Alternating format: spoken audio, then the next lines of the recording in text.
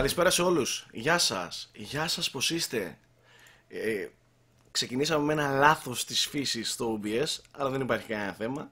Έσχεξε η κατάσταση γρήγορα γρήγορα, μπήκαν οι τεχνικοί, πέσανε εκεί τα κουράκια των τεχνικών και το, το πράγμα έφτιαξα αμέσως. Καλησπέρα. Τι κάνετε, τι λέει; Ηρεμά, ηρεμά, ηρεμά. Α, εντάξει, ήρεμα. Ακόμα ένα frame rate live. Ε, σήμερα είναι 5η 12 Νοεμβρίου και έχω μια πολύ σεξουαλική φωνή. Και στην παρέα έχω κόσμο σήμερα. Έχω κόσμο, έχω παρέα εγώ σήμερα. Έχω παρέα, προσέξτε. Σήμερα θα φέρω παρέα εγώ. Αν γίνει κανένας τσαμπουκάς έτσι, εγώ έχω παρέα. Θα ξεκινήσω από τους πιο τσαμπουκαλίδες της παρέας. Γιώργος Πρίτσκα. Καλά, ξεκίνησα το πιο σκληρό έτσι. Ε, ναι, εντάξει, δεν έχετε δει. Πρώτα πάμε στους ψηλούς ψηλούς. Καλησπέρα σε όλους. Ε, Γεια, γεια, γεια. Τι λέει, πώς είναι η Κρήτη μας; Ζεστή, ζεστή. Ζεστή, ε, δεν θα ήταν. Ναι, έχει τώρα δύο μέρες καλοκαίρι. Πάμε σε ένα μέρος που είναι πιο ζεστό. Κύπρο. Και να Ναι, εκφεράρει. Τα χαμέ. Εκεί πέρα, εκεί πέρα στην Κύπρο πρέπει να είναι 88η Αυγούστου; Εκα, εκατοστή δέκατη Αυγούστου. Ε, ακριβώς αυτό είναι. Ε, πόσους βαθμούς έχει τώρα εκεί η Nike? Ε, το μεσημέρι νομίζω είχε 24 με 26. Μάλιστα. Ωραία. Κοίτα, γενικά και εδώ έχει ζέστη. Δεν, είναι Ναι. από, δεν έχει πιάσει. Έχουν πιάσει βασικά τα κρύα, τα καλά. Απλά μ, κάτι έχει συμβεί τον τελευταίο καιρό και έχει κάτι παράξενες ζέστες. Βέβαια το βράδυ κανονικά το δαγκώνουμε. Ε, συνεχίζω. Μέμος Μπεγνή στην παρέα, παρακαλώ. Ο ηθοποιός. Καλησπέρα, καλησπέρα, τι κάνετε; Το παλιό το αστείο πρέπει να γίνει κι άλλο, πιο παλιό. Πρέπει να οριμάσει. Τα, τα καλά τα αστεία είναι αυτά που οριμάζουν πολύ, είναι σαν το κρασί, καταλαβες. Το λες, το λες, το λες μέχρι να σαπίσει και να γίνει νόστιμο. Αλλά μέσα μου ήδη έχεις σαπίσει όσο δεν πάει. Βρωμάει. Ε, συ- ζητούμε συγγνώμη φίλτατε που σε διακόπτουμε από τη δραστηριότητά σου παίζοντας ε, Fallout αλλά χρειαζόμαστε την παρουσία σου στο Frame Rate Live. Ε, το ξέρω, δεν γίνεται χωρίς μένα. Συνεχίζουμε, πάμε στους δύο καρδιτσιώτες που δεν μπήκανε τυχαία σήμερα. Επειδή τιμούμε, αυτή την εβδομάδα τιμούμε καρδίτσα και έτσι καταλαβαίνετε τώρα, ψαγμένα πράγματα, οργανωμένα. Ε, Θέμης Μπολτσής, Καλησπέρα σε όλους. βέβαια καμία σχέση με καρδίτσα πλέον ο Θέμης ο Μπολτσής, είναι στη Θεσσαλονίκη, στη γλυκιά μας στη Θεσσαλονίκη, τι λέει Θεμούκου. Καλά, φιλέσι. Καλά, να, εδώ, ηρεμία. Ψυχραιμία, εδώ, να. Εντάξει. Χαλαρά. Και τον ε, καρδιτσιώτη, το γνήσιο τον καρδιτσιώτη, που είναι και από καρδίτσα και μένει και καρδίτσα. Ε, ο Stark 1 ST. Μια φορά να το πεις στα μία. Όχι Δημήτρης, Δημήτρης Σαλαμάρας. δεν- Έτσι, μπράβο. Δεν έχει χ μέσα. Όχι, μπερδεύομαι καμιά φορά. Καλησπέρα και σε όλα τα παιδιά μέσα στο chat. Τι κάνετε αγάπες μου γλυκές, τι λέει. Πώς είστε, ψυχρεμά. Ε, σε όλα τα καλά παιδιά. Εντάξει, ο Ντεπαλούκ είναι εδώ πρώτη μούρη. Ωραία. Ε, Χρήστος Μπίκας, Μάνος 1985. Είδα μέσα τον Γκάντ Ντούπερμαν. Ε, ο Αντωνάκης γιο τη Τούλη. Δεν τον χαιρετάω. Του στέλνω μόνο φιλιά. Κάπτεν Ζαράκη, Σίμοβιτ. Όλα τα καλά τα παιδιά. Όλα τα καλά παιδιά εδώ. Καλησπέρα. Σήμερα έχουμε μια ενδιαφέρουσα εκπομπή. Θέλω να, να πιστεύω. Είναι και ο Στρατούλης. Ε, εντάξει. Είναι και ο Στρατούλης. Α, είναι και ο τέτοιος. Είναι και ο, ο Μπάμπης μέσα. Αγάπη, σκέτη. Γεια σου Μπομπίκο. Ε, στρατούλη καλή η σοκολατόπιτα. Ε, πόνεσε λίγο. Εντάξει τώρα γράφουν όλοι ρε. Γράφουν, γράφουν, γράφουν, γράφουν πανικός. Λοιπόν, το, το τρίλεπτο θα το κάνω γρήγορα. Πολύ γρήγορα θα το κάνω το τρίλεπτο του Σάκη. Εντάξει; Πάρα πολύ γρήγορο. Ξεκινάμε με το πιο κοντά στην, ε, στη λίστα. Αύριο. Όπα, εξβάγκος μέσα. Ψσσ, αρρώστησα. Αρρώστησα την αγάπη μου, ατελείωτη. Και φυσικά είναι και Moonbay, η οποία ασχολείται ακόμη με τα καλτσάκια μου, ρε. Δηλαδή έχει μια ψύχωση, κάτι έχεις σπάθηση με τα καλτσάκια μου, ε. Πραγματικά, αν κερδίσεις κάποιο δώρο ή κάτι τέλος πάντων, μπορώ να σου βάλω μέσα στο πακέτο ένα ζευγάρι κάλτσες μου, αλλά ξέρεις, χρησιμοποιημένες. Μη φοβάσαι, τα πόδια μου δεν μυρίζουν. Ε. Για ένα παράξενο λόγο δεν μυρίζουν τα πόδια μου ποτέ. Ε, θα τις βάλω μέσα να τις έχεις, ρε παιδί μου, τις κάνεις. Μη βαράτε, μη βαράτε ούτε για αστεία. Θα φάτε μπλοκ στο facebook. Η μικρή. Θα φάτε μπλοκ, καλό μπλοκ. Από τα δυνατά τα μπλοκ. Ε, για τα καλτσάκια έλεγα, αλλά το βασικό είναι αυτό που θα γίνει αύριο. Αύριο στις ε, 12 παρατέταρτο έχουμε Horror Night 23, δυνατό Horror Night 23, με Αλέκο φυσικά, Μπάμπι, Αλή, θα είναι ο Κούλης. Κούλης. Ε, τι άλλο; Α, ναι, θα είναι και ένα εργαλείο εκεί έτσι, από τα παράξενα που λέγεται DK2, Oculus Rift και θα είναι ένα πάρα πολύ ωραίο τέλος πάντων ε, σκηνικό αύριο το βράδυ στις 12 παρατέταρτο εδώ στο twitch.tv κάθετος Unboxholics. Μεθαύριο όμως στις 4 η ώρα, 14 Νοεμβρίου, Σάββατο, η Unboxholics σε συνεργασία φυσικά με τα 7 Spot και την IGE που είναι η επίσημη αντιπροσωπεία της Bethesda στην Ελλάδα διοργανώνουμε ένα πάρα πάρα πολύ μεγάλο event ε, με αφορμή την τωρινή κυκλοφορία του Fallout 4 αυτή την εβδομάδα στην Καρδίτσα, ναι, Καρδίτσα, ε, στο κατάστημα 7 Spot της ε, Καρδίτσας που είναι στο κέντρο της πόλης, εκεί στο κεντρικό πεζόδρομο, τα λέω καλά Θέμη και Δημήτρη. Πολύ καλά, Μια τα λες χαρά. φίλε. Τα λέω Στο καλά. κεντρικό Και πεζ- ξέρουμε- στο κεντρικό ξέρουμε- πεζόδρομο. Ε, Ξέρουμε ε, και, και διεύθυνση. Ε, τη διεύθυνση δεν τη θυμάμαι, αλλά για τους καρδιτσιώτες που είναι από εκεί. είναι Εντάξει, απέναντι- μπορεί να δεν θα έρθουν μόνο καρδισκιώτες ρε φίλε, θα έρθουν από τις τριγύρω περιοχές, θα έρθουν. Λάπα είναι Θα μισό. έρθουν από τις τριγύρω περιο... περιοχές, θα έρθουν. Και δεν είναι πολύ κοντά στο κινηματοθέατρο. Και για τους καρδιτσιώτε είναι εκεί που ήταν παλιά το Multirama. Έλα, εκεί είναι, εκεί. Φάτσα κάρτα είναι. Στο κέντρο. Κέντρο-κέντρο. Δεν μπορεί να χαθείτε. Η καρδίτσα έχει ένα τεράστιο γιγαντιαίο ε, πεζόδρομο. Εκεί θα ψαχτείτε στο, στην κεντρική πλατεία και θα τη βρείτε. Ε, το κατάστημα. Ε, μ, εκεί θα στις 4 η ώρα μέχρι τις 8-9 περίπου ε, θα είμαστε όλη η ομάδα των Unboxholics και πραγματικά θα λείπουν πολύ λίγοι, πάρα πολύ λίγοι από την ομάδα, μακάρι να τους είχαμε όλους, αλλά μ, θα είναι ένα πάρα πολύ μεγάλο μέρος της ομάδας των Unboxholics, θα παρουσιάσουμε φυσικά το Fallout 4, θα τα πούμε εκεί, θα γίνουν διάφορα έτσι ωραία μαζί, θα βγούμε φωτογραφίες, θα αγκαλιαστούμε, θα φιληθούμε και τέτοια πράγματα. Ε, θα γίνει παρουσίαση, ξαναλέω, του παιχνιδιού σε μεγάλη οθόνη με ηχεία και ιστορίες, θα έχει μικροφωνική. Και επίσης, φυσικά η είσοδος είναι ελεύθερη γιατί ρωτήσατε κάτι τέτοια παράξενα. Δεν παίζουν ρε παιδιά, να κάνουμε event και να ζητάμε είσοδο, είναι δυνατόν. Φυσικά και είναι ελεύθερη η είσοδο, έρχεστε απλά έτσι χήμα. Ε, και τι άλλο, ναι και εκεί πέρα φυσικά στο τέλος περίπου, γύρω στις 7, 7 και κάτι, όποιος έρχεται θα παίρνει μέρος ε, σε μια κλήρωση και στο τέλος θα δώσουμε πάρα πάρα πολύ δυνατά ε, δώρα μεταξύ των οποίων κονσόλα Xbox One με το Fallout 4 1 TB, συλλεκτική έκδοση ε, του Fallout 4, ε, δύο πολύ πολύ ακριβά και super wow χειριστήρια Xbox Elite που παίζουν και στο PC. Θα έχετε το καλύτερο controller που υπάρχει αυτή τη στιγμή στην αγορά. Το καλύτερο και από τα ακριβότερα controllers. Είναι εντελώς pro η όλη φάση τους. Θα έχει συλλεκτικές εκδόσεις ε, για τις προηγούμενες ε, κονσόλες για Payday, κάτι Crime Wave Edition, κάτι τέτοια. Και θα έχει πάνω από ε, 200 περίπου δωράκια να πάρετε αφήσεις και τέτοια πράγματα σχετικά με το Fallout. Ε, ζητάω οπωσδήποτε τη στήριξή σας. Καλά, δεν μιλάω μόνο στους καρδισκιώτες, μιλάω για τους τριγύρω. Εμείς έχουμε πει ότι την επαρχία θέλουμε να τη στηρίξουμε. Η επαρχία έχει δύναμη.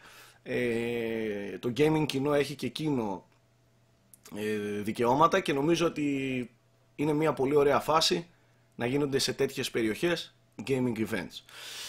Και είμαι περήφανος που έχω την ευκαιρία, και το βήμα και, και την υποστήριξη για να κάνω τέτοια πράγματα στην επαρχία. Όντας επαρχιώτης. Τώρα, δεν νομίζω να έχω κάτι άλλο, βρε παιδιά μου γλυκά. Το σκέφτομαι τώρα, αλλά δεν νομίζω να έχω κάτι άλλο και μπορώ να προχωρήσω αμέσως στο ψητό. Ε, καλά, αν μου έρθει θα το πω. Ε, και τι. Ε, και τι. Ναι, εννοείται είσοδος ελεύθερη, το είπαμε. Λοιπόν, από πού θέλετε να ξεκινήσουμε; Είναι πολλά. Είναι πάρα πολλά. Γίνεται ένας χαμός από κυκλοφορίες, από παιχνίδια. Ε, βγαίνει το ένα, ο ένας γίγαντας μετά τον άλλον. Τα reviews έχουν πάρει φωτιά στο site, στο unboxholics.com. Σήμερα ανέβηκε πολύ δυνατό review για το Need for Speed. Εχθές ανέβηκε επίσης πάρα πολύ δυνατό review για το Call of Duty Black Ops 3. Προχθές ανέβηκε ένα review ε, κόλαφος για το Tomb Raider, για το Rise of the Tomb Raider. Έχουμε βρε παιδί μου να ασχολούμαστε, ξύλο πέφτει, μπουνίδια έτσι χαλαρά, δεν ματώνουν όμως μύτες. Εντάξει, ευτυχώς. Ε, πέρα από την πλάκα, ε, εντάξει, υπάρχουν μερικές έτσι λίγο ακραίες συμπεριφορές. Αλλά γενικά μου αρέσει πάρα πολύ που, που ανταλλάζουμε απόψεις, κουβεντιάζουμε, ο ένας καταθέτει την άποψή του, που διαφωνείτε. Εγώ γουστάρω άπειρα όταν γίνεται διαφωνία, αλλά σε πολιτισμένο επίπεδο, έτσι με επιχειρήματα όμορφα και ωραία. Όχι ένα σκέτο, τι γράφει ρε καράγκιος ε, σκέτο. Α έχει επιχειρήματα να γίνεται ωραία κουβέντα και εννοείται όλα ε, είναι θέμα γούστων. Από πού θέλετε ρε παιδιά, ποιο παιχνίδι θέλετε να πιάσουμε; Θέλετε να, να πιάσουμε ε, το Fallout 4 που παίζει ο Μέμος; Δεν έχουμε θέμα. Ό,τι θέλετε. Πάρτα χρονολογικά, ξέρω εγώ. Χρονολογικά. Ή, ή όπως ανέβηκαν τα reviews. Από το Rise, κοιτάξτε, για το Rise of the Tomb Raider εγώ δεν θα μιλήσω για το παιχνίδι αυτό καθ' αυτό. Εντάξει, γιατί νομίζω ότι παραείπα και στα 40 λεπτά που διήρκησε το video review και στο σχεδόν δύο ώρο live stream που έκανα την ε, Δευτέρα που είπα διάφορα πράγματα. Ε, αυτό που μπορούμε να συζητήσουμε αλλά προς το τέλος αν θέλετε ε,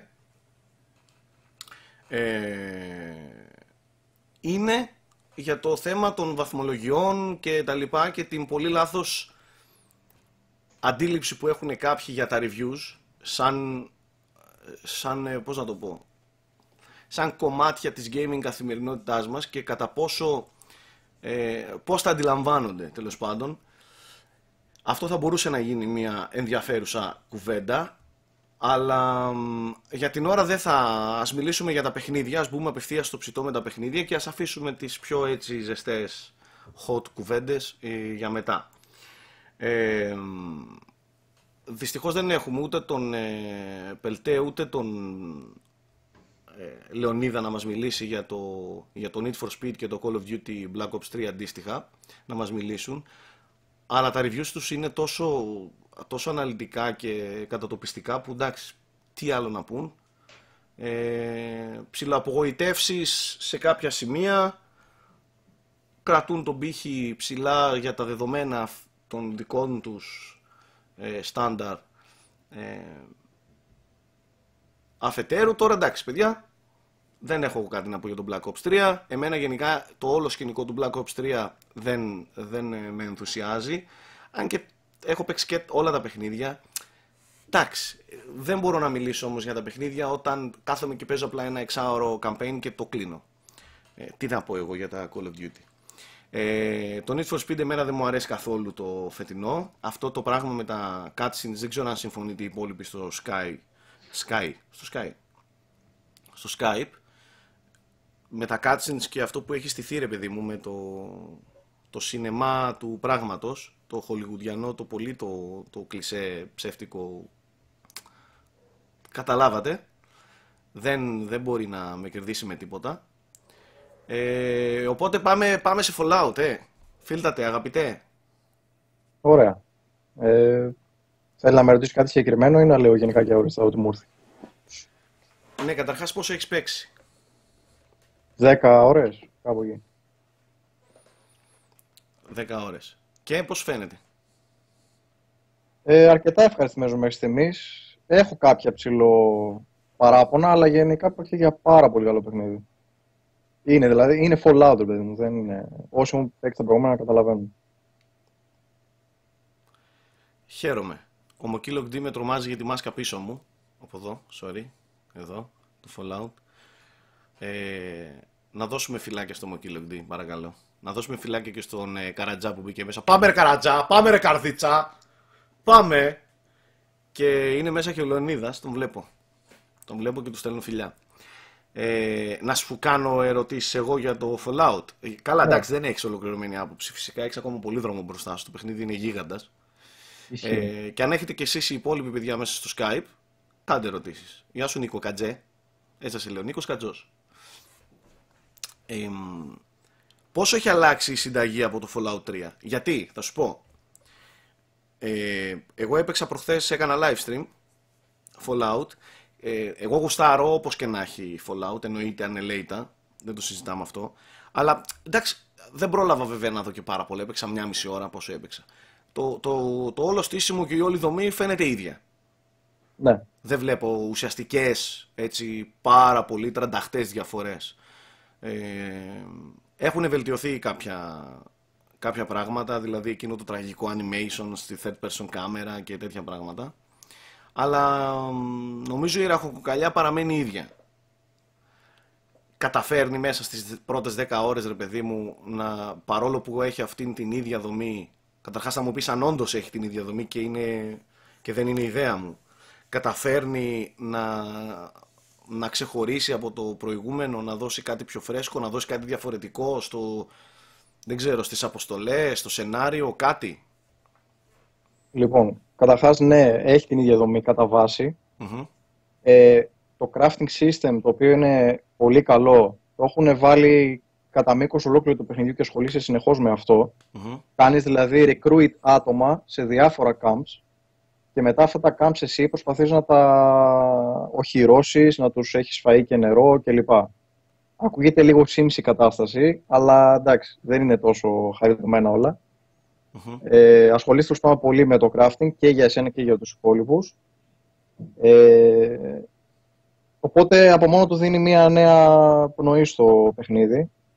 Εκεί που νομίζω, τουλάχιστον μέχρι στιγμής, ότι έχει οπισθοδρομήσει λίγο, είναι στο RPG στοιχείο. Δεν υπάρχουν πολλοί διάλογοι, πολλοί RP γενικά. Ναι, Για παράδειγμα, εγώ έχω πάρει πολύ καρίσμα στο χαρακτήρα. Για να μπορώ να κάνω intimidation, ε, να τους πείθω για κάτι, κατάλαβες. ναι. Μέχρι στιγμής δεν μου είχε χρησιμεύσει. Καθόλου, ούτε μία φορά. Και μου Μάλιστα. κάνει εντύπωση, ρε παιδί μου. Δηλαδή, δεν υπάρχουν μακροσκελείς ε, διάλογοι όπως το 3. Μακάρι στην πορεία να αλλάξει. Δεν είναι... Καλά, ναι, προφανώς Τελικό έχει παίξει αυτό. πάρα πολύ λίγο. Σε σχέση με αυτό που είναι το, το Fallout έχει παίξει πολύ λίγο. Ισχύει, αλλά ξέρω εγώ, ρε γαμώτο, σε 10 ώρες να μην έχω δει Βέβαια, ε, ουσιαστικούς διαλόγους. Πιστεύω να θυμάστε ότι το, το Fallout 3 αν πήγαινες και έπιανες μόνο το campaign, ε, την, μόνο τις main αποστολές του campaign, πάνω από 10-12 ώρες δεν ήταν. Ε, Ναι. Εσύ Κοίτα, εγώ τώρα έχω προφανώς, ακούσει εσύ κάτι για προφανώς παίζεις 30. απ' όλα. Παίζω απ' όλα, ναι. Αλλά έχω ακούσει κάτι για 30-40 ώρες στο main. Δεν ξέρω Μάλιστα. κατά πόσο ισχύει. Μακάρι να είναι έτσι μεγάλο χορταστικό. Ε, αυτές τις αλλαγές τις καινούργιες που, που λένε ότι ενσωμάτωσαν με το, με το έξυπνο build ε, ε, shelter system, πώς, ε, πώς το βλέπεις; Sorry, ξαναπες μου. Αυτό λέω το καινούριο σύστημα με, τα, με το χτίσιμο των shelter που, που μπορείς να, να έχεις το δικό σου shelter και μετά να αναβαθμίζεται και είναι έξυπνο το όλο σκηνικό και αντιλαμβάνεται, είναι δυναμικό, αντιλαμβάνεται ο κόσμος τριγύρω ότι έχεις φτιάξει κάτι δικό σου και σιγά σιγά έρχονται προσελκύεις ρε παιδί μου είτε καλούς είτε κακούς Ναι. προς το Είναι μέρος αυτό σου. που Το έχεις- έλεγα το έχεις πριν. δει να δουλεύει γιατί αυτό το είχαν διαφημίσει πολύ ρε παιδί μου. Κοίτα, ναι. Δεν ξέρω αν θεωρείται spoiler, αλλά τουλάχιστον όσο έχω παίξει δεν το έχω δει να δουλεύει. Δηλαδή υπάρχουν μηχανισμοί, ας πούμε, με βάζεις ας πούμε σιρήνες να υπάρχει συναγερμός αν γίνεται επίθεση. Ε, υπάρχουν ε, άλλες στήλες με άλλου είδους σιρήνες για να κάνουν recruit όσους, όσοι είναι περαστικοί. Και υποτίθεται ότι πρέπει και να τους ταΐσεις, πρέπει και να τους προστατεύεις. Μέχρι στιγμής εγώ δεν έχω δει κάτι να γίνεται ιδιαίτερο. Μάλιστα. Παρ' όλα αυτά είναι ενδιαφέρον το όλο σύστημα και από ό,τι καταλαβαίνω μα- γενικά εξαπλώνεσαι σε όλο το χάρτη. Βρίσκεις ανθρώπους που είναι πρόθυμοι συ- να συνεργαστούν, φτιάχνεις camps σε διάφορα σημεία και φτιάχνεις και ένα μεγάλο community τέλος πάντων. Αλλά θα δείξεις στις επόμενες ώρες το κατά πόσο δουλεύει σωστά όλο αυτό. Ωραία. Κάτι άλλο για το παιχνίδι έχεις να μας πεις; Ε, Υπάρχει κάποιος που θέλει να κάνει μια ερώτηση από τα παιδιά στο... Εγώ να σε ρωτήσω κάτι που σίγουρα θα το έχεις δει μέχρι στιγμής είναι τα γραφικά. Γιατί α, όλο το feedback που έχω πάρει εγώ από τον Ιόγκαφ που διαβάζω και από το Reddit και από όλα τα forums είναι ότι το παιχνίδι είναι εξαιρετικό σε όλους τους τομείς και όλοι έχουν παράπονο στιγμή για τα γραφικά. Εσύ τι έχεις να Ναι. πεις; τα γραφικά αλλού είναι καλά και αλλού είναι κακά. Το παρατήρησα Όταν και εγώ είσαι- φίλε στο, στο live stream. Στους εξωτερικούς κόσμους που έχει μακρινές αποστάσεις τα βλέπεις όλα άψογα. Φωτισμοί ισχύει. ωραίοι, τα δάση, τα καμένα, τα δέντρα. Είναι σαν να βλέπεις αληθινό τοπίο, ρε παιδί μου, είναι άλλο πράγμα.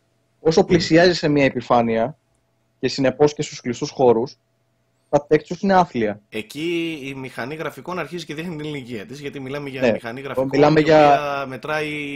12 χρόνια είναι η μηχανή γραφικών, έτσι. Ναι. Είναι 12, πέρασαν 12. Είναι 12 Ναι, ρε χρόνια. φίλε, 12, γιατί ρε φίλε. την ανανέωσαν Νομίζω με ότι το έχει Skyrim. χρησιμοποιηθεί- Παιδιά, νομίζω ότι έχει ανανέωσαν. χρησιμοποιηθεί ακόμα και στο Morrowind αυτή η γραφ- η μηχανή. Νομίζω. Ε, κοίτα, σίγουρα χρησιμοποιήθηκε στο Oblivion. Σίγουρα, ναι. Έτσι, τώρα δεν ξέρω αν από το Oblivion ήρθε, μ, ξέρεις, αλλαγμένη, βελτιωμένη που ήρθε. Ε, δεν ξέρω αν μιλάμε για την ίδια, ξέρεις, τον ίδιο κώδικα που απλά εξελίχθηκε. Ή αν γράφτηκε κάτι καινούριο σ- από το Oblivion ή το Skyrim και μετά. Αλλά νομίζω ότι είναι αυτή η ίδια μηχανή που βλέπουμε εδώ και χρόνια. Ε, Τέλος πάντων, πρέπει σίγουρα στο επόμενο τους παιχνίδι να το, να το σκεφτούν πολύ σοβαρά να την αλλάξουν. Ναι. Φαίνεται γερασμένη. Σε γενικά τοπία, σου λέω μακρινά, φαίνονται Το ωραία. παρατήρησα, ρε, το παρατήρησα. Αν δεις τα textures, είναι ούτε προηγούμενες γενιά. Ναι. Δηλαδή, έβλεπα, ας πούμε, θυμάσαι τη γέφυρα εκεί στην αρχή, στο camp το πρώτο που είσαι. Βλέπεις ένα ωραίο γεφυράκι ξύλινο, πανέμορφο, και με το που πλησιάζεις και το βλέπεις, είναι. χάλια. Απλά δεν ξέρω πώς να το περιγράψω. Τέλος πάντων, προσωπικά εμένα δεν με ενοχλεί καθόλου έτσι. Δεν μου είχε χαλάσει την εμπειρία αυτή στο παιχνίδι. Καλά, προφανώς. αλλά σε- για όσους σε δίνουν τέτοια- Σε σημασία. τέτοια παιχνίδια Σίγουρα, δεν το συζητάμε. για όσους δίνουν σημασία είναι σίγουρα ένα μεγάλο αγκάθι. Μάλιστα. Καλησπέρα στον Walf Rathma. Τα φιλιά μου. Ε, Μπαγκέ, τίγκα παιδιά. έχει έτσι. Αν και εντάξει, προσωπικά ήμουν 100% σίγουρος. Δηλαδή, το φεστιβάλ από bugs που υπήρχε το Skyrim, είμαι σίγουρος ότι θα υπάρχει και εδώ. Κοίταξε. Αλλά bugs- εντάξει. Bugs για έναν ηλίθιο λόγο αυτή η μηχανή γραφικών έχει εδώ και πολύ καιρό. Ναι. Ε, και το συναντάμε σε κάθε παιχνίδι, δηλαδή το θεωρούμε πλέον δεδομένο ότι αυτά τα Bethesda ε, παιχνίδια ε, με αυτή τη μηχανή και αυτό το στήσιμο θα είναι τίγκα. Fallout και Elder Scrolls είναι τίγκα, τέλος. Και αυτό είναι λίγο άσχημο. Είναι λίγο άσχημο. Ε, δεν ξέρω, ε, αναφέρεσαι σε bugs όχι τόσο στον τεχνικό τομέα, στα υπόλοιπα, έτσι, στα quest, στα, στα μενού και Ε, τέτοια πράγματα, έτσι. Όχι, στα πάντα. Στο μενού δεν έχω βρει bug. Ε, αλλά όταν πάω να μιλήσω σε ένα NPC και βρίσκω ένα NPC καβάλα σε ένα άλλο και δεν μπορώ να του μιλήσω, ας πούμε, Ναι, τέτοια glitches, ναι. ή που προσπαθώ να παραδώσω ένα quest να του μιλήσω και ο άλλος μου γυρνάει πλάτη και φεύγει και δεν, μπορώ να, δεν θέλει να. Δεν γουστάρει να μου μιλήσει, ρε παιδί μου. Είναι και λίγο ενοχλητικά από κάποιο σημείο και μετά. Μμ. Ή τέρατα να μπαίνουν μέσα στα γραφικά, οπότε να είναι πιο εύκολο να το σκοτώσεις. Τέτοια φάση. Ναι, εντάξει, αυτά, αυτά δυστυχώς είναι Ωραία, τέλος πράγματα πάντων. που Αν τα βλέπουμε- εξαιρέσουμε τα bugs και τα γραφικά, μέχρι στιγμής πρόκειται για ένα πάρα πολύ καλό παιχνίδι. Ε, μου έκανε, ξέρεις τι μου έκανε εντύπωση από τα πρώτα λεπτά που έπαιξα εγώ; Μπήκε απευθείας στο ψητό. Έχει εκπληκτική ατμόσφαιρα. Δεν ξέρω, Ναι. Δεν ξέρω ε, πώς το κατάφεραν πάλι. Ενώ είναι κάτι το οποίο το έχουμε ξαναδεί ρε παιδί μου. Ε, Σε, σου δίνει αυτό, το, αυτή τη φρεσκάδα, ή, ή όχι φρεσκάδα. Δεν νιώθεις ότι, ότι βαριέσαι, ότι το έχεις ξαναδεί και τα λοιπά. Δηλαδή το έβλεπα και ήμουνα το ίδιο ενθουσιασμένος όπως το έβλεπα και στο Fallout 3. Ε, είναι εκπληκτικό το όλο σκηνικό στην αρχή. Μπαίνει έτσι πολύ δυναμικά και πολύ σκοτεινά. Και όταν βγαίνεις έξω για πρώτη φορά στη Wasteland είναι λίγο το σαγόνι κάτω. Γιατί όπως είπες, τα γραφικά εκεί τα σπάνε. Ναι. Ε, ναι, εμένα μέχρι στιγμής μου έχει αφήσει πάρα πολύ καλές εντυπώσεις. Είναι το επόμενο πολύ μεγάλο παιχνίδι που θα παίξω και θα λιώσω, εννοείται. Δεν το αφήνω. Θέλω να τελειώσω τώρα με το Halo, για το οποίο έχω να πω πράγματα. Έχω να πω Να τα ακούσουμε. πράγματα. Ναι. Θα, θα τα πούμε μετά. Ωραία. Κάτι άλλο για το Fallout έχουμε; Από μένα όχι, αν θέλει κάποιος κάτι.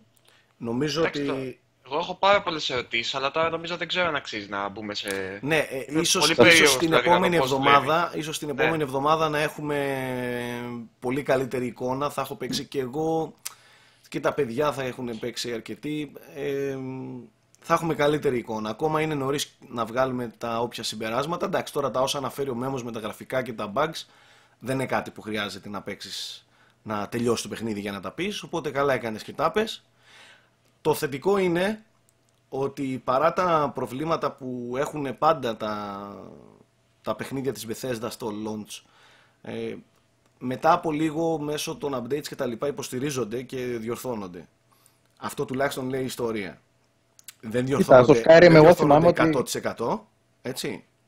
Στο Skyrim εγώ θυμάμαι ότι μέχρι σήμερα υπάρχουν. ε, Α, επίσης να, να σημειώσουμε ότι ο Μέμος παίζει την Xbox One έκδοση. Έτσι. Η οποία Xbox One έκδοση είναι ακριβώς ίδια με την, Xbox, με την Xbox. Με την έκδοση του PlayStation 4 τρέχει native 1080p, 30 fps, έχει frame drops, ισχύει Μέμο; Ναι. Έχει frame Πολλά. drops και έχει και κανένα δυο χοντρά προβλήματα με το frame drop. Πέφτει μέχρι και το 0. Τα, βγα- τα βλέπαμε στο Digital Foundry. Το τα- 0 είναι κυρίως στο loading. Αν κάνεις κάποιο, auto save, κάποιο πώς το λένε, quick save, αν πας να μπεις σε έναν εσωτερικό χώρο, αυτά. Κοίταξε, σαν loading αυτό, πιο πολύ. α, στο loading νομίζω αυτό το θέμα το είχαν ε, όλα τα παιχνίδια. Δηλαδή με το που, Ναι, έκανε, ναι. με το που έκανε auto save ή quick save εσύ, ε, πάγωνε το παιχνίδι. Ναι. Ε, τώρα θα Εντάξει, δεις. παρόλα αυτό, αυτά υπάρχει σε πολλά παιχνίδια. Τώρα ένα loading, ένα save δεν είναι πρόβλημα. Ναι, εντάξει. δεν θεωρώ το- πρόβλημα δηλαδή, το μηδενικό, fra- τα μηδενικά frames, αλλά τα draws που κάνει τα περίεργα μέσα σε μάχες κλπ. Ε, αυτό εντάξει. που έχω εγώ ακούσει εγώ, θα το διαπιστώσω γιατί εγώ θα παίξω την PC έκδοση, ε, είναι το ότι έχει πολύ καλό customization στο PC. Ε, αυτό τουλάχιστον λένε όλοι. Ότι τρέχει σωστά, ας πούμε, δεν έχουμε, ξέρεις, τραγικά θέματα. Ναι. Ε, αλλά από την άλλη με μια τόσο παλιά και δουλεμένη όμως ε, μηχανή, αυτό έλειπε. Εντάξει, να είχαμε τέτοια θέματα. 100% Τέλος πάντων. καλά δεν τρέχει, γιατί είναι λίγο βαρύ το παιχνίδι για αυτά βαρύ. που προσφέρει στα γραφικά. Είναι όντως βαρύ. Είναι όντως σχετικά βαρύ για αυτά που προσφέρει στα γραφικά. Μάλιστα. Οκ. Ωραία. Ας το αφήσουμε, παιδιά. Ας το αφήσουμε, ας πάμε στο... στα επόμενα. Θα δούμε. Εγώ αναμένω να παίξω παιχνιδάρα πάντως με το Fallout. Με συγχωρείτε που είμαι πολύ ενθουσιασμένος εγώ με το Fallout. Κάποιος λέει για το μικρόφωνο μου, έχει κάτι. Όχι, Ε, όμως ναι. έχω μια χαρά. Τι έχει; Μάλλον δεν ακούγεσαι τόσο δυνατά, ίσως. Δεν ξέρω. Νομ- Έχω μια εντύπωση ότι λίγο πικάρει. Μια χαρά τον ακούω πάντως. Αλλά, οκ. Τέλος πάντων. Θα μας πεις Ας για προχωρήσουμε. Ας προχωρήσουμε. Ε, κοίτα, ναι, για Halo δεν έχω παίξει πάρα πολύ. Απλά έχω δύο-τρεις σημαντικές έτσι, παρατηρήσεις να κάνω. Ε, εγώ γενικά, για να είμαι ειλικρινής, έχω ρίξει τον πήχη στη σειρά, για τη σειρά. Καλός ή κακός, θεωρώ ότι τα πραγματικά και τα ουσιαστικά Halo και μπορείτε να χεϊτάρετε όσο θέλετε, έχουν τελειώσει με το Reach και τα Halo ανήκουν και θα ανήκουν πάντα στις καρδιές μας ως παιχνίδια της Bungie και αυτό αποδείχθηκε και με το Halo 4 και ακόμη περισσότερο με το Halo 5 το οποίο έχει την κρίνια που, ε, που δεν που δεν θα μπορούσε ποτέ να διανοηθεί ένας φαν ε, ούτε καν η ίδια η Microsoft για το franchise αυτό. Ε, δυστυχώς ε, συνοδεύεται από αρκετή γκρίνια το παιχνίδι. Οι- Όσοι το έχουν παίξει και ασχολούνται μιλάνε για ένα εξαιρετικό campaign, ε, εξαιρετικό multiplayer. Το campaign όμως χωλαίνει. Εγώ θέλω να πω τα εξής, τα οποία τα θεωρώ χοντρά, πώς να το πω, χοντρά λάθη. Αρχίσαμε πάλι με την Bungie λέει, πο- καθόλου προκατηλημένος ο Σάκης. Ό,τι θέλω θα κάνω φίλτατε που, δεν, που είμαι προκατηλημένος. Με συγχωρείς, αλλά το έχω ξεκαθαρίσει όταν η σειρά, όταν οι σειρές γενικότερα ανεβαίνουν ψηλά, δεν μπορείς μετά εύκολα να προσαρμοστείς σε πιο χαμηλά, χωρίς να γκρινιάξεις.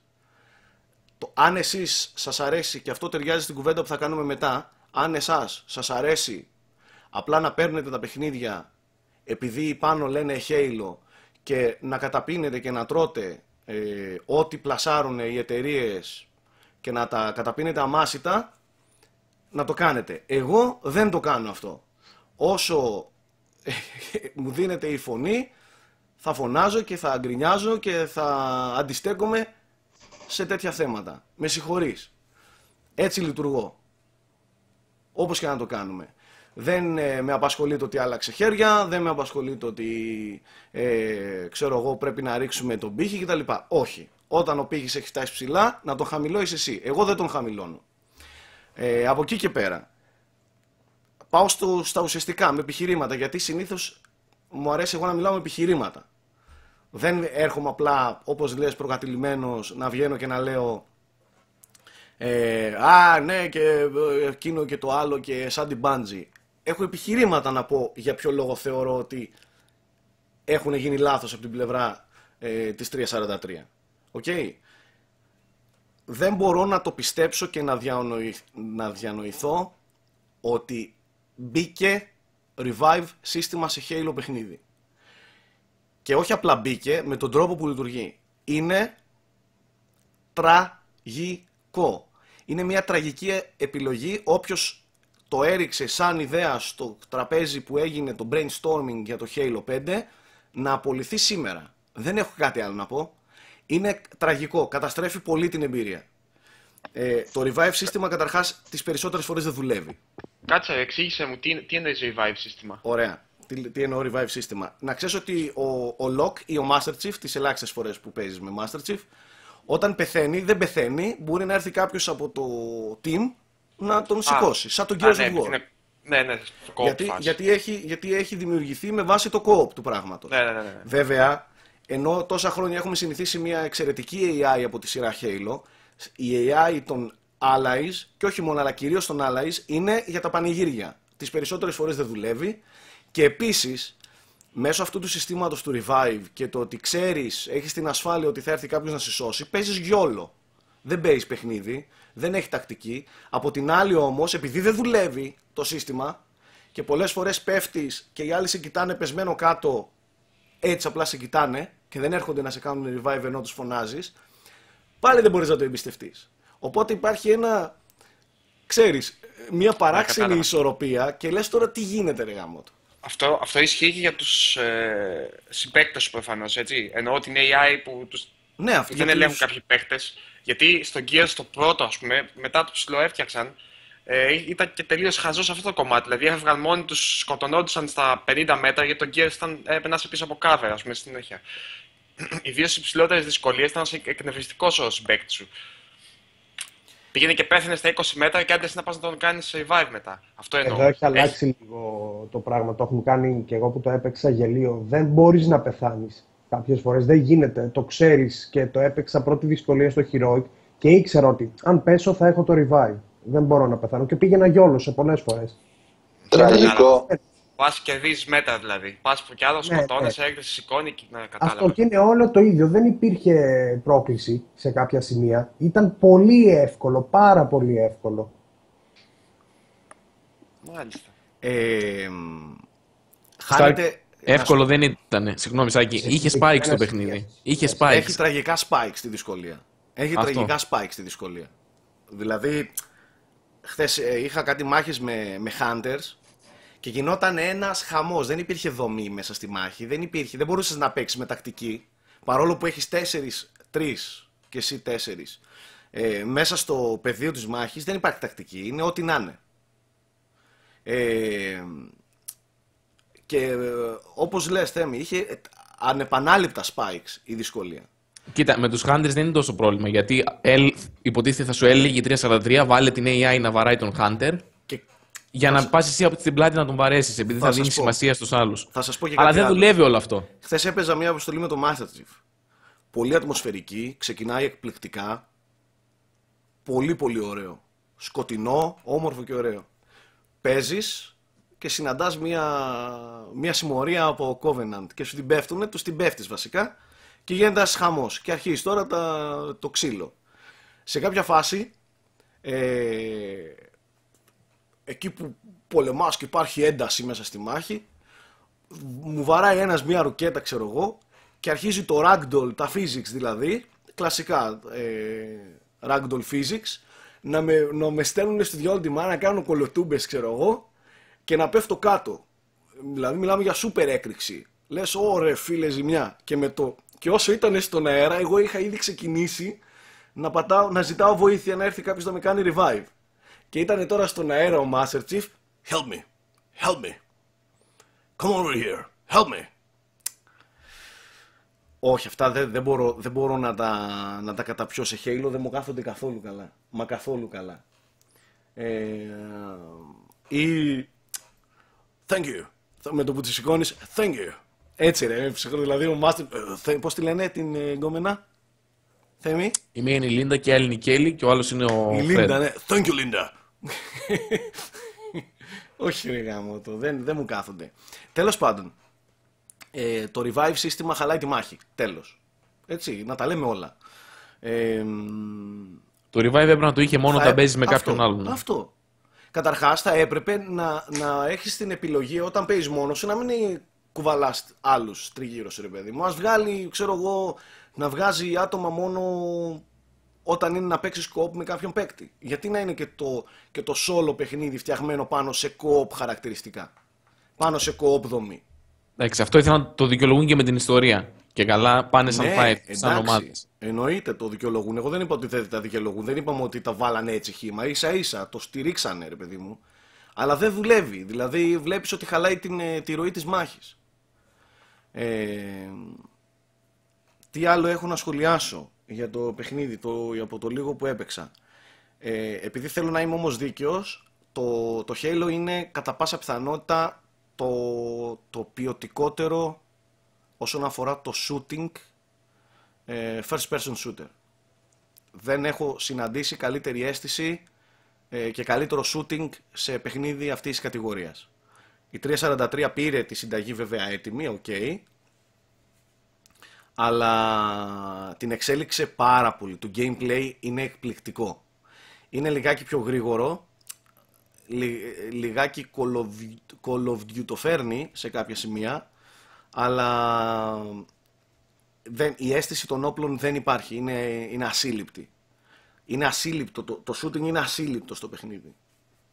Δεν, το βλέπα εχθές και λέω, και χθες δοκίμασα μάλιστα και ένα 10-12 όπλα τουλάχιστον μέσα στο παιχνίδι.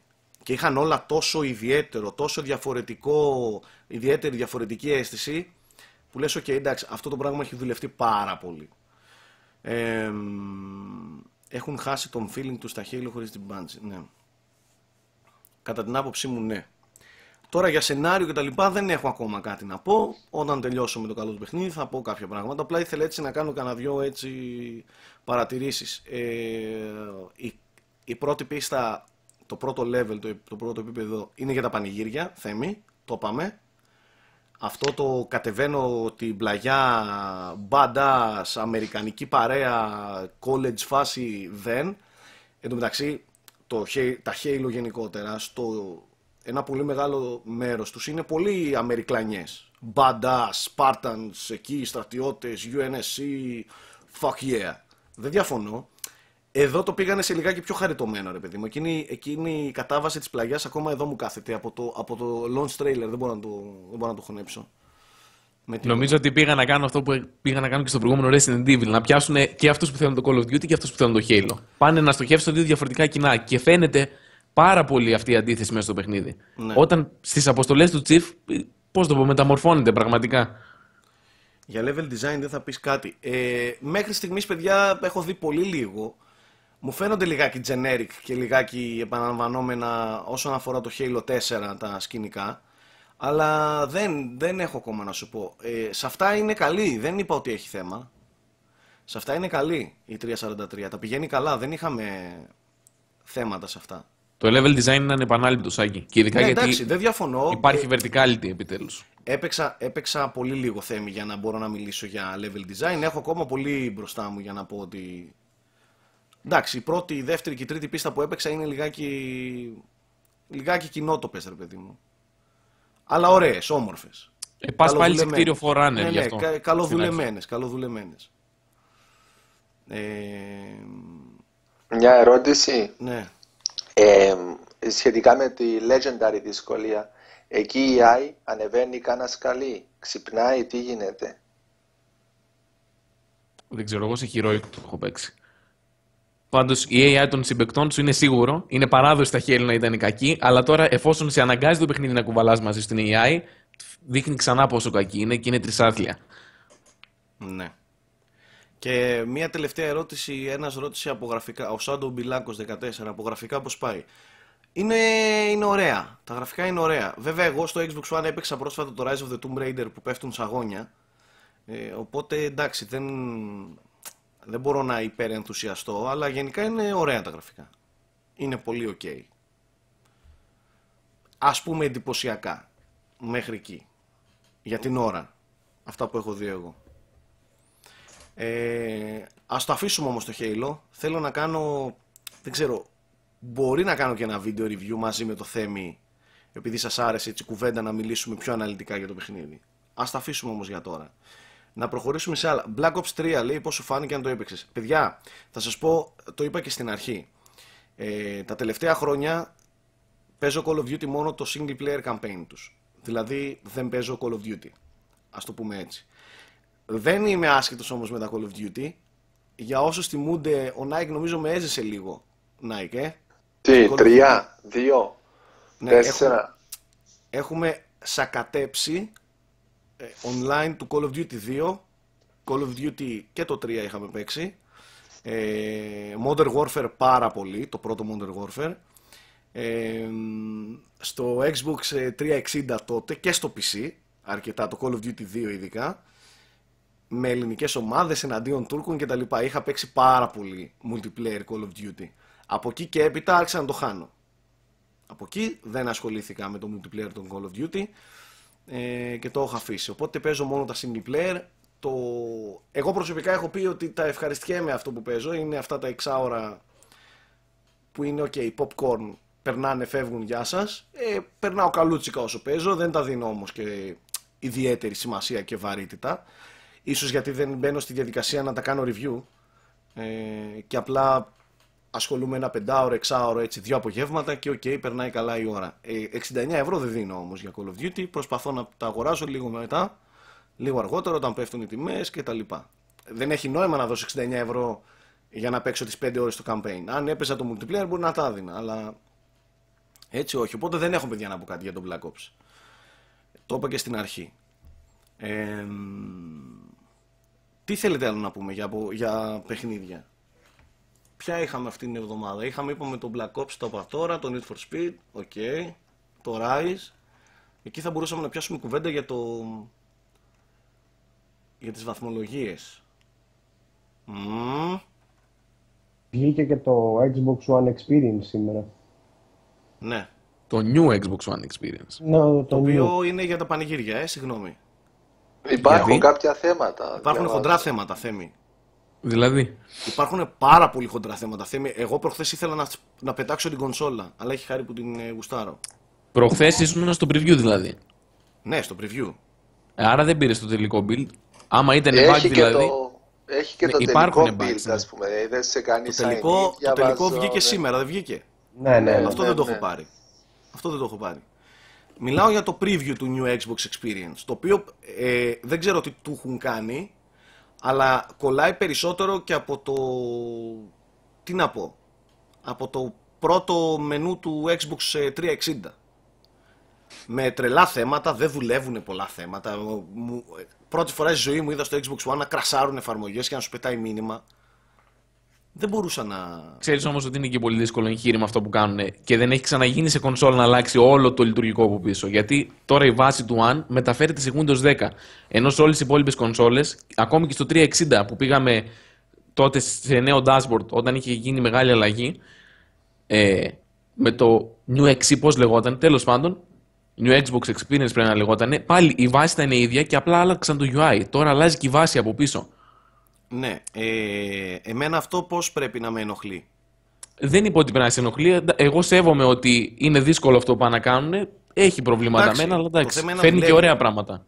Θεμή, ωραίες οι προσπάθειες, ωραίο όλο αυτό το σκηνικό που, που μας... Ε, πες τα, ε, που μας πλασάρουνε, ότι δουλεύουν και πάνε να κάνουν κάτι ωραίο. Το θέμα είναι να δουλεύει, αγόρι μου. Το, αυτή τη στιγμή το Xbox One, ε, στο preview ξαναλέω, εγώ έχω χοντρό θέμα. Πραγματικά έχω Στο χοντρό preview θέμα. και εγώ συνάντησα πολλά δεν προβλήματα. δουλεύουν πράγματα, δεν, δεν δουλεύουν, δεν κολλάνε. Η κονσόλα παγώνει για δευτερόλεπτα, δεν, δεν ξέρω τι να κάνω. Και δεν είναι όποια όποια εταιρεία. Είναι εταιρεία που εξειδικεύεται και είναι διάσημη Ακριβώς. μέσω λογισμικών. Για λογισμικό μιλάμε. Μπαμπίνιο 13, πόσο καιρό έχουμε να σου δούμε εσένα, υπάρχεις, είσαι εδώ. Μάλιστα. Ε, τέλος πάντων, θα, θα κατεβάσω το, το κανονικό, το, το, την τελική έκδοση του ε, New Xbox Experience 1,2 gigabytes. και θα δούμε. Και θα δούμε. Ε, γενικά το θεωρώ λίγο μπερδεμένο το, το λειτουργικό. Δεν ξέρω. Πραγματικά, ε, ενώ στην προηγούμενη γενιά δεν ήταν έτσι, ε, το πιο απλουστευμένο ε, PSN μου αρέσει περισσότερο. PSN. Το μενού του PS4. Είναι πιο άμεσο ρε παιδί μου, δεν ξέρω. Δουλεύει πιο γρήγορα, είναι πιο άμεσο, τα πάντα πάνε πιο γρήγορα, δεν ξέρω. Ενώ από λειτουργίες και τέτοια σε κάποια θέματα είναι πολύ πίσω, σε πλήθος λειτουργιών και τα λοιπά, δουλεύει λίγο πιο γρήγορα, τι να πω, ξέρω εγώ. Το Xbox έχει ένα πολύ μεγάλο πρόβλημα αυτή τη στιγμή, το οποίο δεν το έλυσε ούτε με το New Xbox Experience, το ότι τα πάντα είναι σε apps. Δηλαδή θα πας μέσα στα settings, τα network settings θα είναι άλλο app, τα settings θα είναι άλλο app. Τα παιχνίδια, ας πούμε, δεν τα έχει μία λίστα στο Ε, ναι, λειτουργικό. Έχει, έχει Υπάρχει αυτή την ε, λογική των Windows. Ότι ναι, όλα έχει είναι εφαρμογή που έχει μέσα τις εφαρμογές σου. Εντάξει. Ναι, Εκεί, ναι, αυτό. εκεί κολλάω στο ότι είναι τα πάντα εφαρμογές. Συμφωνώ. Εσείς που έχετε όλοι, γιατί Xbox έχετε όλοι, ε, το παρατηρείτε αυτό που λέω; Ή απλά Ότι δεν είναι- ασχολείστε, μπαίνετε μόνο, παίζετε. Ότι Δεν είναι είναι- αργό. Ότι είναι αργό. Τι; Ναι. Ναι, είναι, έχει φορές που ας πούμε περιμένω να, να εμφανιστούν οι φίλοι, το μήνυμα ή ας πούμε περιμένεις. Δηλαδή όπως παλιά στο Wii U που περίμενες, περιμένεις. Περιμένεις πολύ περισσότερο από ό,τι περιμένεις στο, στο PS4. Ε, εντάξει, εγώ έχω, εγώ έχω οχτάρα, το ανέμενα λέω εντάξει είναι και θέμα σύνδεσης, αλλά όταν μου το πες και εσύ, ε, τότε ξαφνιάστηκα. Λέω καλά, αν έχεις και εσύ τότε όλοι έχουν. Μάλιστα. Ε, θα δούμε. Θα δούμε πώς θα, θα εξελιχθεί. Ε, ίσως να κάνω και κάποιο βίντεο κάποια στιγμή για το New Xbox Experience με την τελική έκδοση, όχι αυτή που έχω εγώ τώρα. Και βλέπουμε. Ε, από παιχνίδια, γιατί δεν θέλω να τελειώσουμε με αυτά πριν πάμε. Τα παιχνίδια που έρχονται πριν πάμε στις Όχι βαθμολογίες. τα, ναι, εντάξει, τώρα παιχνίδια που έρχονται, τι έχουμε αυτό το μήνα που έρχονται; Τώρα το Ε, Bloodborne. ε, δηλαδή. με το Fallout βγήκε και το, το Starcraft το 2. Το έπαιξες Nike; Ε, όχι, περιεργάστηκα στη λεκτική. Τι τρόλ ερώτηση ήταν αυτή, ρε μαλακισμένο. Προς τον Nike, γιατί τον πειράζεις έτσι, ε; Όχι, δεν, ε, μπορεί να του αρέσει και αν θέλει να το παίξει, δεν ξέρω. Με τι, πού να το παίξει; στο iPad Σωστό, ή, σωστό ή κι στο, αυτό. ή στο Αλλά- λάπτοπ που σηκώνει μόνο Αλήθεια, Skype; δεν το σκέφτηκα καθόλου, ρε φίλε. καθόλου όμως. Αλήθεια, το πες έτσι; δεν το σκέφτηκα καθόλου. δεν Εντάξει, έχει καν- παίρνω πίσω το μαλακισμένο. Όχι ότι δεν είσαι, αλλά παίρνω πίσω το μαλακισμένο. Πες με χαζό. Το ρε. Star Wars έρχεται τώρα. Πρέπει να το Και το Star Wars, ναι. Ναι. Ε, ο Νίκος The Greek Freak λέει Σάκη με το διαγωνισμό τι γίνεται; My bad, φίλτατε. Αύριο το πρωί θα ανέβει ένας άλλος διαγωνισμός και την ίδια ώρα θα ανακοινώσω τους νικητές του προηγούμενου διαγωνισμού του Wasteland 2. Ζητώ συγγνώμη, δικό μου λάθος, δικιά μου παράληψη, έχει, έχει ξεχαστεί λίγο το, το σκηνικό. Θα επανορθώσω αύριο, σας το υπόσχομαι. Ε, και θα ανέβει αύριο ο επόμενος μεγάλος διαγωνισμός. Είναι πολύ ωραίο, πολύ ενδιαφέρον το αντικείμενο που δίνουμε και να το, να το δείτε. Να το περιμένετε κάπου εκεί προς το μεσημέρι. Ε, μ, Star Wars ναι, κυκλοφορεί και αυτό αυτό το μήνα. Πολύ χάος για αυτό το παιχνίδι. Δυστυχώς το, το αποκλειστικά multiplayer του πράγματος σε μένα λιγάκι με, με απωθεί για την ώρα. Δεν είμαι και κανένας τρελός φαν των Star Wars, οπότε εντάξει.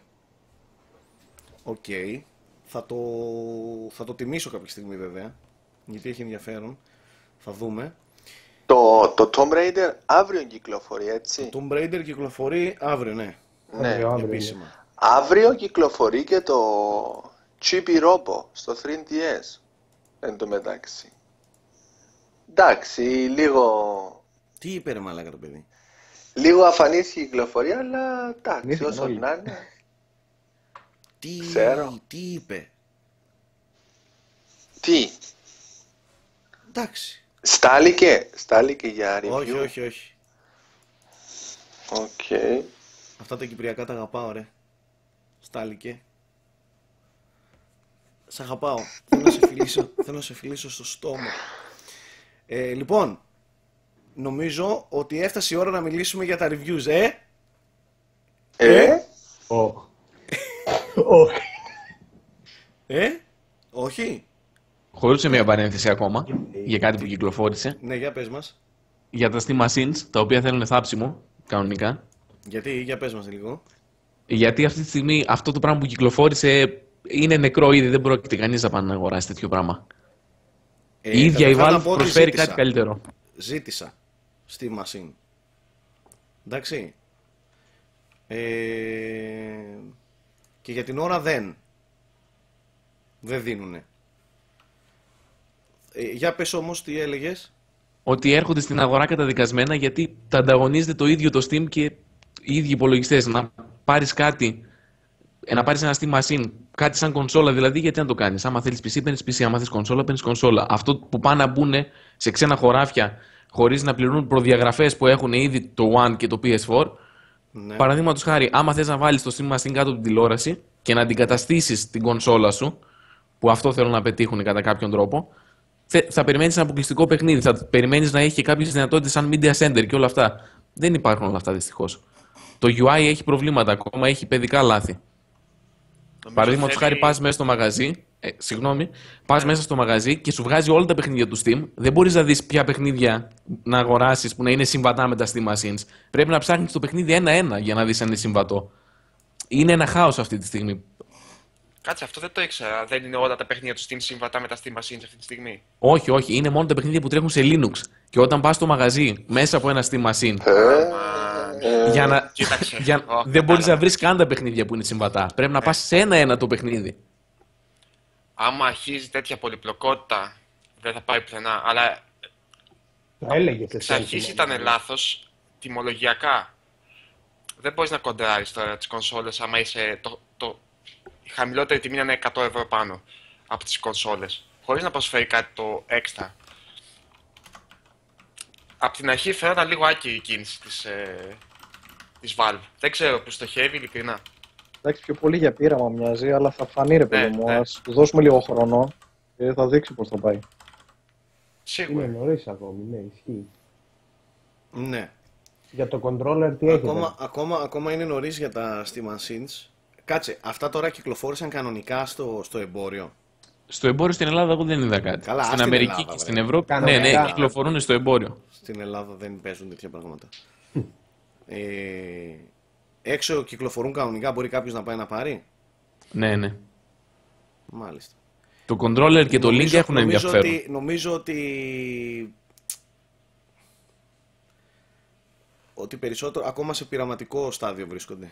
Είναι αυτό που είπα. ο Δεν νομίζω Μάνος. ότι είναι ακόμα η τελική, η τελική εικόνα.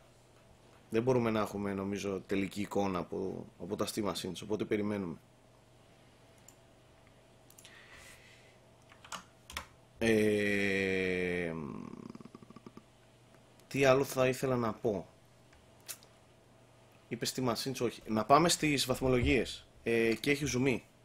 Ήρθε η ώρα, ναι. Εκεί έχει ζουμί. Αυτή την εβδομάδα η αλήθεια είναι ότι ανέβηκαν τρία reviews στα οποία υπήρχε γκρίνια. Καλά. Στο βασικό που υπήρχε γκρίνια ήταν στο Tomb Raider. Το οποίο με γκρινιάζανε οι περισσότεροι χωρίς να έχει κυκλοφορήσει το παιχνίδι. Ε, ότι να και τι είναι αυτό και το χώσιμο και τα λοιπά. Και διάβασα κάτι θεϊκά σχόλια και, στο, ε, και στα σχόλια του YouTube κάτω από το video review που έλεγε Σάκη ελπίζω να είναι η προσωπική σου άποψη γιατί αυτό δεν είναι review και τους εξήγησα βέβαια ε, τι σημαίνει review στο προχθεσινό ε, live stream; Παιδιά πρέπει να ξεκαθαρίσουμε λιγάκι τι σημαίνει review γιατί έχετε λιγάκι έχετε μπερδευτεί με το θέμα review και νομίζετε ότι review είναι αυτό που θέλει να ακούει ο κόσμος. Ε, ή ότι ο συντάκτης, ε, ο άνθρωπος που αναλαμβάνει ένα review είναι υποχρεωμένος να ακολουθεί, ε, ε, πώς να το πω, τα standards και τα δεδομένα που, που τα δίνει ο κόσμος. Ε, το, η πλειοψηφία, το κοινό, ο μέσος όρος, όπως θέλετε πείτε το. Ε, review, παιδιά, είναι η κατάθεση της προσωπικής άποψης του ανθρώπου που αναλαμβάνει να κάνει review, είτε σε ένα κείμενο, είτε σε ένα βίντεο ή οπουδήποτε. Μόνο αυτό. Η- Εντάξει, ας πούμε ότι πρέπει να, να αντιμετωπίζει με αντικειμενικό τρόπο ένα παιχνίδι, αλλά δεν πάβει να είναι προσωπική άποψη. Άρα και υποκειμενική άποψη. Ε, αυτό δεν πρέπει να το ξεχνάτε. Ότι όταν διαβάζετε ένα κείμενο που από κάτω υπογράφεται με το όνομα π.χ. Σάκης Καρπάς ή Γιώργος Πρίτσκας, σημαίνει ότι διαβάζετε την άποψη του Σάκη Καρπά ή του Γιώργου Πρίτσκα, ας πούμε. Δεν διαβάζετε την άποψη της πλειοψηφίας του κοινού που αγαπάει ή δεν αγαπάει ένα παιχνίδι. Ε, ούτε το πώς πρέπει, ο το πώς θεωρείτε εσείς, ο, το πώς θεωρεί το κοινό ότι πρέπει να λαμβάνετε ε, υπόψη το κάθε παιχνίδι από τον εκάστοτε reviewer. Ο εκάστοτε reviewer, όπως και εσείς, ε, καταρχάς θεωρώ, δεν, η λέξη reviewer έτσι, τη, τη θεωρώ έτσι ανόητη και τα δημοσιογράφοι στο gaming και τα λοιπά δεν υπάρχουν κατά την άποψή μου, τουλάχιστον στο δικό μας χώρο. Ε, ε, τι έλεγα, διάβαζα τώρα κάτι, ένα σχόλιο. Ο άλλος αγγελία το έκανε ρε. Πουλάει Steam Controller. Θεός. Άρα κυκλοφορούνε. Ναι, ίσως κυκλοφορούν, ναι. Το controller έχει ένα ενδιαφέρον παραπάνω. Ναι, Να δούμε αυτό, πώς θα αυτό φύγει. έχει, αυτό έχει. Γιατί αυτό είναι έχει. κάτι τελείως διαφορετικό από τα συνηθισμένα. Και ίσως γι' αυτό και μέχρι στιγμής έχει πάρει ψηλό αρνητικές, αρνητική ανταπόκριση. Αλλά δεν ξέρω. Θα φανεί στο μέλλον. Λοιπόν, ε, να συνεχίσω. Ναι, ναι. Ε, το review λοιπόν δεν είναι η κατάθεση ε, της γραμμής που θέτει το κοινό, αλλά η κατάθεση της προσωπικής άποψης του εκάστοτε συντάκτη. Και όπως εσείς και ο κάθε gamer ξεχωριστά έχει τη δική του οπτική γωνία στα πράγματα, τα δικά του μέτρα και σταθμά, έτσι και ο συντάκτης καταθέτει με τη δική του οπτική γωνία, με τη δική του προσέγγιση ε, τα δεδομένα που αφορούν το παιχνίδι. Ε, τυπικά βάζει μια βαθμολογία, θα το μιλήσουμε στην πορεία. Τυπικά βάζει μια βαθμολογία, αλλά η ουσία είναι η κατάθεση της άποψης. Τώρα, ο, ο σωστός αναγνώστης ή θεατής έχει την απόλυτη ελευθερία να επιλέξει τον ποιον συντάκτη, το ποιον άνθρωπο, το ποιο μέσο θα εμπιστεύεται ε, για τα reviews. Γιατί κάτι που ξέχασα πριν να αναφέρω, το review είναι ουσιαστικά η κατάθεση του, του ε, συντάκτη, του ανθρώπου που καταθέτει δηλαδή την, την άποψή του, με σκοπό να ενημερώσει ε, τον υποψήφιο αγοραστή. Όχι να χαϊδέψει ή να κοντραριστεί με, τους, με αυτούς που παίζουν ήδη το παιχνίδι. Review αυτό σημαίνει ότι παρουσιάζω το παιχνίδι και ο άλλος που δεν το ξέρει, δεν το έχει στην κατοχή του, να δει αν αυτό το παιχνίδι αξίζει ή δεν αξίζει. Ή να πάρει την άποψη του ενός, του, δ- των δύο, των τριών ή των 25 ανθρώπων που, ε- που εμπιστεύεται. Αυτή είναι η ύπαρξη των reviews. Δεν γράφουμε reviews για να έρθει αυτός που το έχει παίξει να συμφωνήσει, να διαφωνήσει. Βέβαια και θα γίνει και είναι απολύτως φυσιολογικό να γίνει. Αλλά η ουσία των reviews είναι αυτή. Οι εταιρείες τα στέλνουν στους ανθρώπους αυτούς, σε εμάς για να τα παρουσιάσουμε, για, για να δείτε αν σας αρέσει, να δείτε την άποψη αυτών των ανθρώπων, ώστε αν, αν τους εμπιστεύεστε να τα αγοράσετε, αν δεν τους εμπιστεύεστε κτλ. κτλ. Ε, αυτός είναι ο λόγος ύπαρξης των reviews. Και όσο και να προσπαθεί κάποιος να καταθέσει 100% αντικει- την, ατι- την αντικειμενική του άποψη πάνω σε ένα review, σε ένα κείμενο, δεν θα τα καταφέρει. Προφανώς ε, η οπτική γωνία εξαρτάται από πολλούς παράγοντες του εκάστοτε συντάκτη.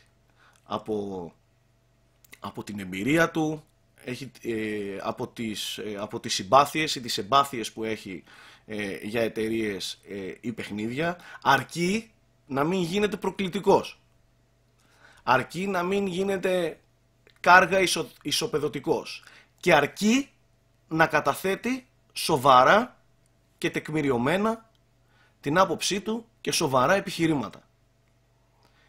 Ε, να, μην, να μην μειώνει, να μην γιώνει, να μην χλεβάζει, να μην κοροϊδεύει το παιχνίδι και τον εαυτό του και τους αναγνώστες που τον ακούν ή τον ε, διαβάζουν.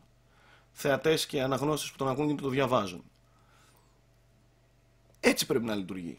Και από εκεί και πέρα, ο σωστός αναγνώστης πηγαίνει, διαβάζει το κείμενο, βλέπει την οπτική γωνία του Σάκη. OK, okay, ο Σάκης έχει διαφορετική οπτική γωνία από εμένα. Σεβαστό, διαφωνώ μαζί του.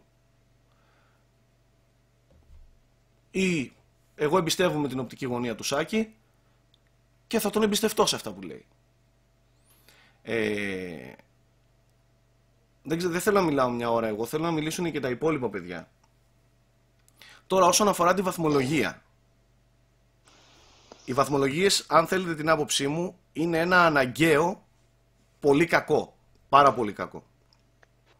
Οι βαθμολογίες, ένα ανόητο νουμεράκι εκεί κάτω, θα μου πεις Ρεσάκη εσείς γιατί έχετε, θα σας εξηγήσω. Ένα ανόητο νουμεράκι εκεί κάτω είναι ικανό να γιώσει, ε, να διαγράψει και να ξεφτυλίσει μια ολοκληρωμένη άποψη από πάνω.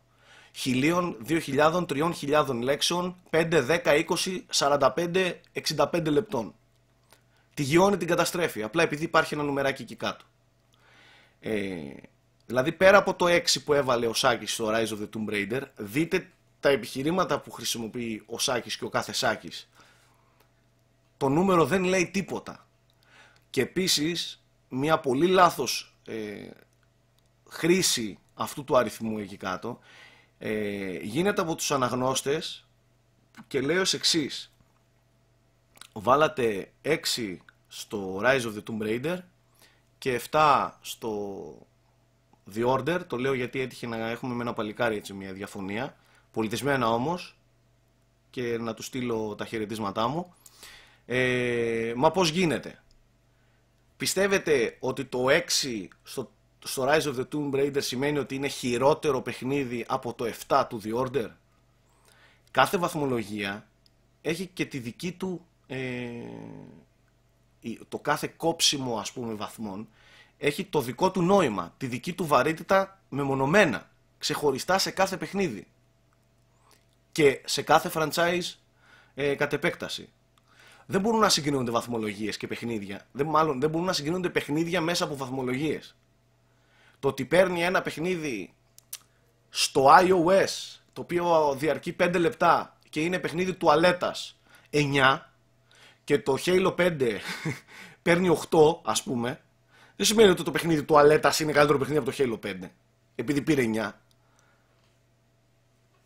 η, η βαθμολογία το αναγκαίο αυτό λοιπόν κακό μπαίνει για να καθορίσει το κατά πόσο ε, σωστά κάνει τη δουλειά, τη δουλειά του το παιχνίδι για αυτό που είναι, για αυτό που δημιουργήθηκε να κάνει. Και κατά πόσο διορθώνει, βελτιώνει, αλλάζει, καταστρέφει, ε, μένει στάσιμο σε σχέση με προηγούμενα παιχνίδια της σειράς. Οπότε κάθε νουμεράκι σε κάθε παιχνίδι πρέπει να λαμβάνεται εντελώς διαφορετικά. Δεν μπορείτε να βάζετε σε σύγκριση το εξάρι του Rise of the Tomb Raider με το εφτάρι του The Order ή το 8 του Halo 5.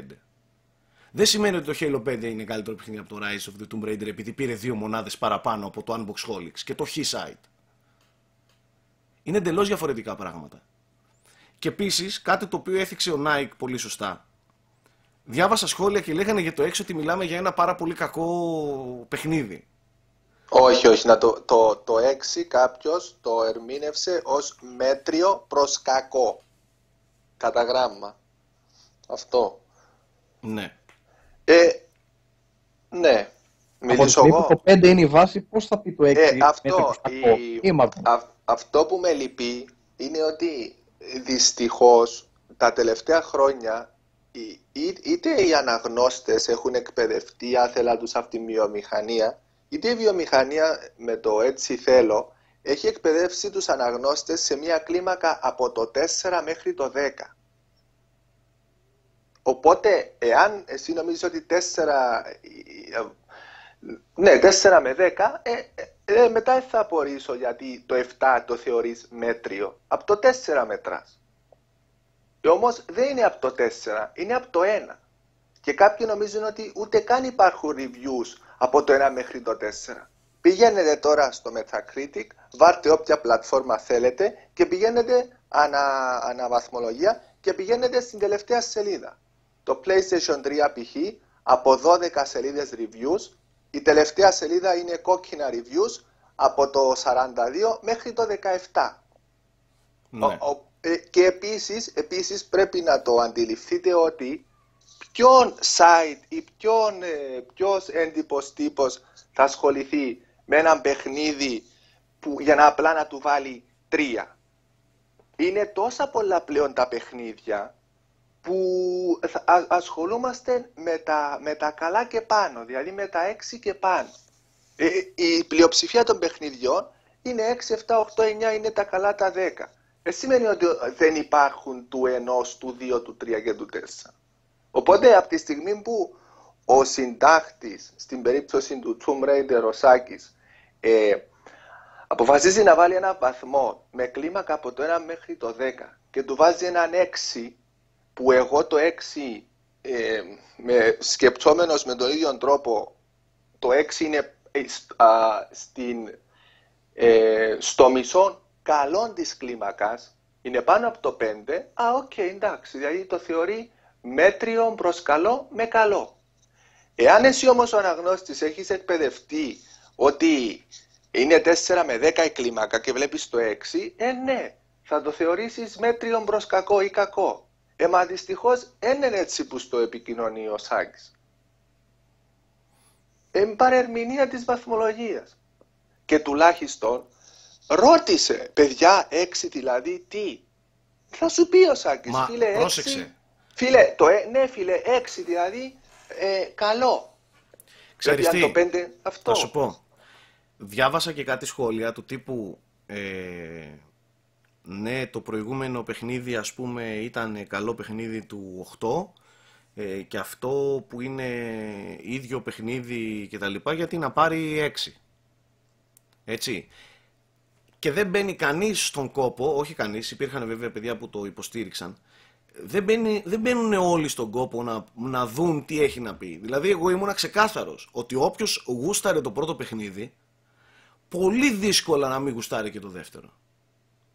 Αυτό αυτομάτως ακυρώνει το εξάρι για, για πολύ κόσμο. Οπότε, α, εντάξει, αφού το λέει ότι θα μου αρέσει, δεν δίνω σημασία στο 6. Δώστε σημασία σε αυτό που λέω. Σε αυτό που λέει ο κάθε συντάκτης, ο κάθε άνθρωπος που αναλαμβάνει ένα review. Αφήστε το Καταρχάς. νούμερο. Καταρχά, πολλά άτομα είδαν, ε, διαβάζοντας το κείμενό σου, είπαν ότι εγώ αυ- με αυτά που διάβασα πιστεύω θα μου αρέσει, άρα θα το δοκιμάσω. Ναι. Αγνοήσαν λοιπόν παντελώς το βαθμό γιατί διαβάσα το κείμενο και τους κάλυψαν αυτά που έγραψες. Οι Ακριβώς. άλλοι απλά χάνουν το νόημα. Εγώ π.χ.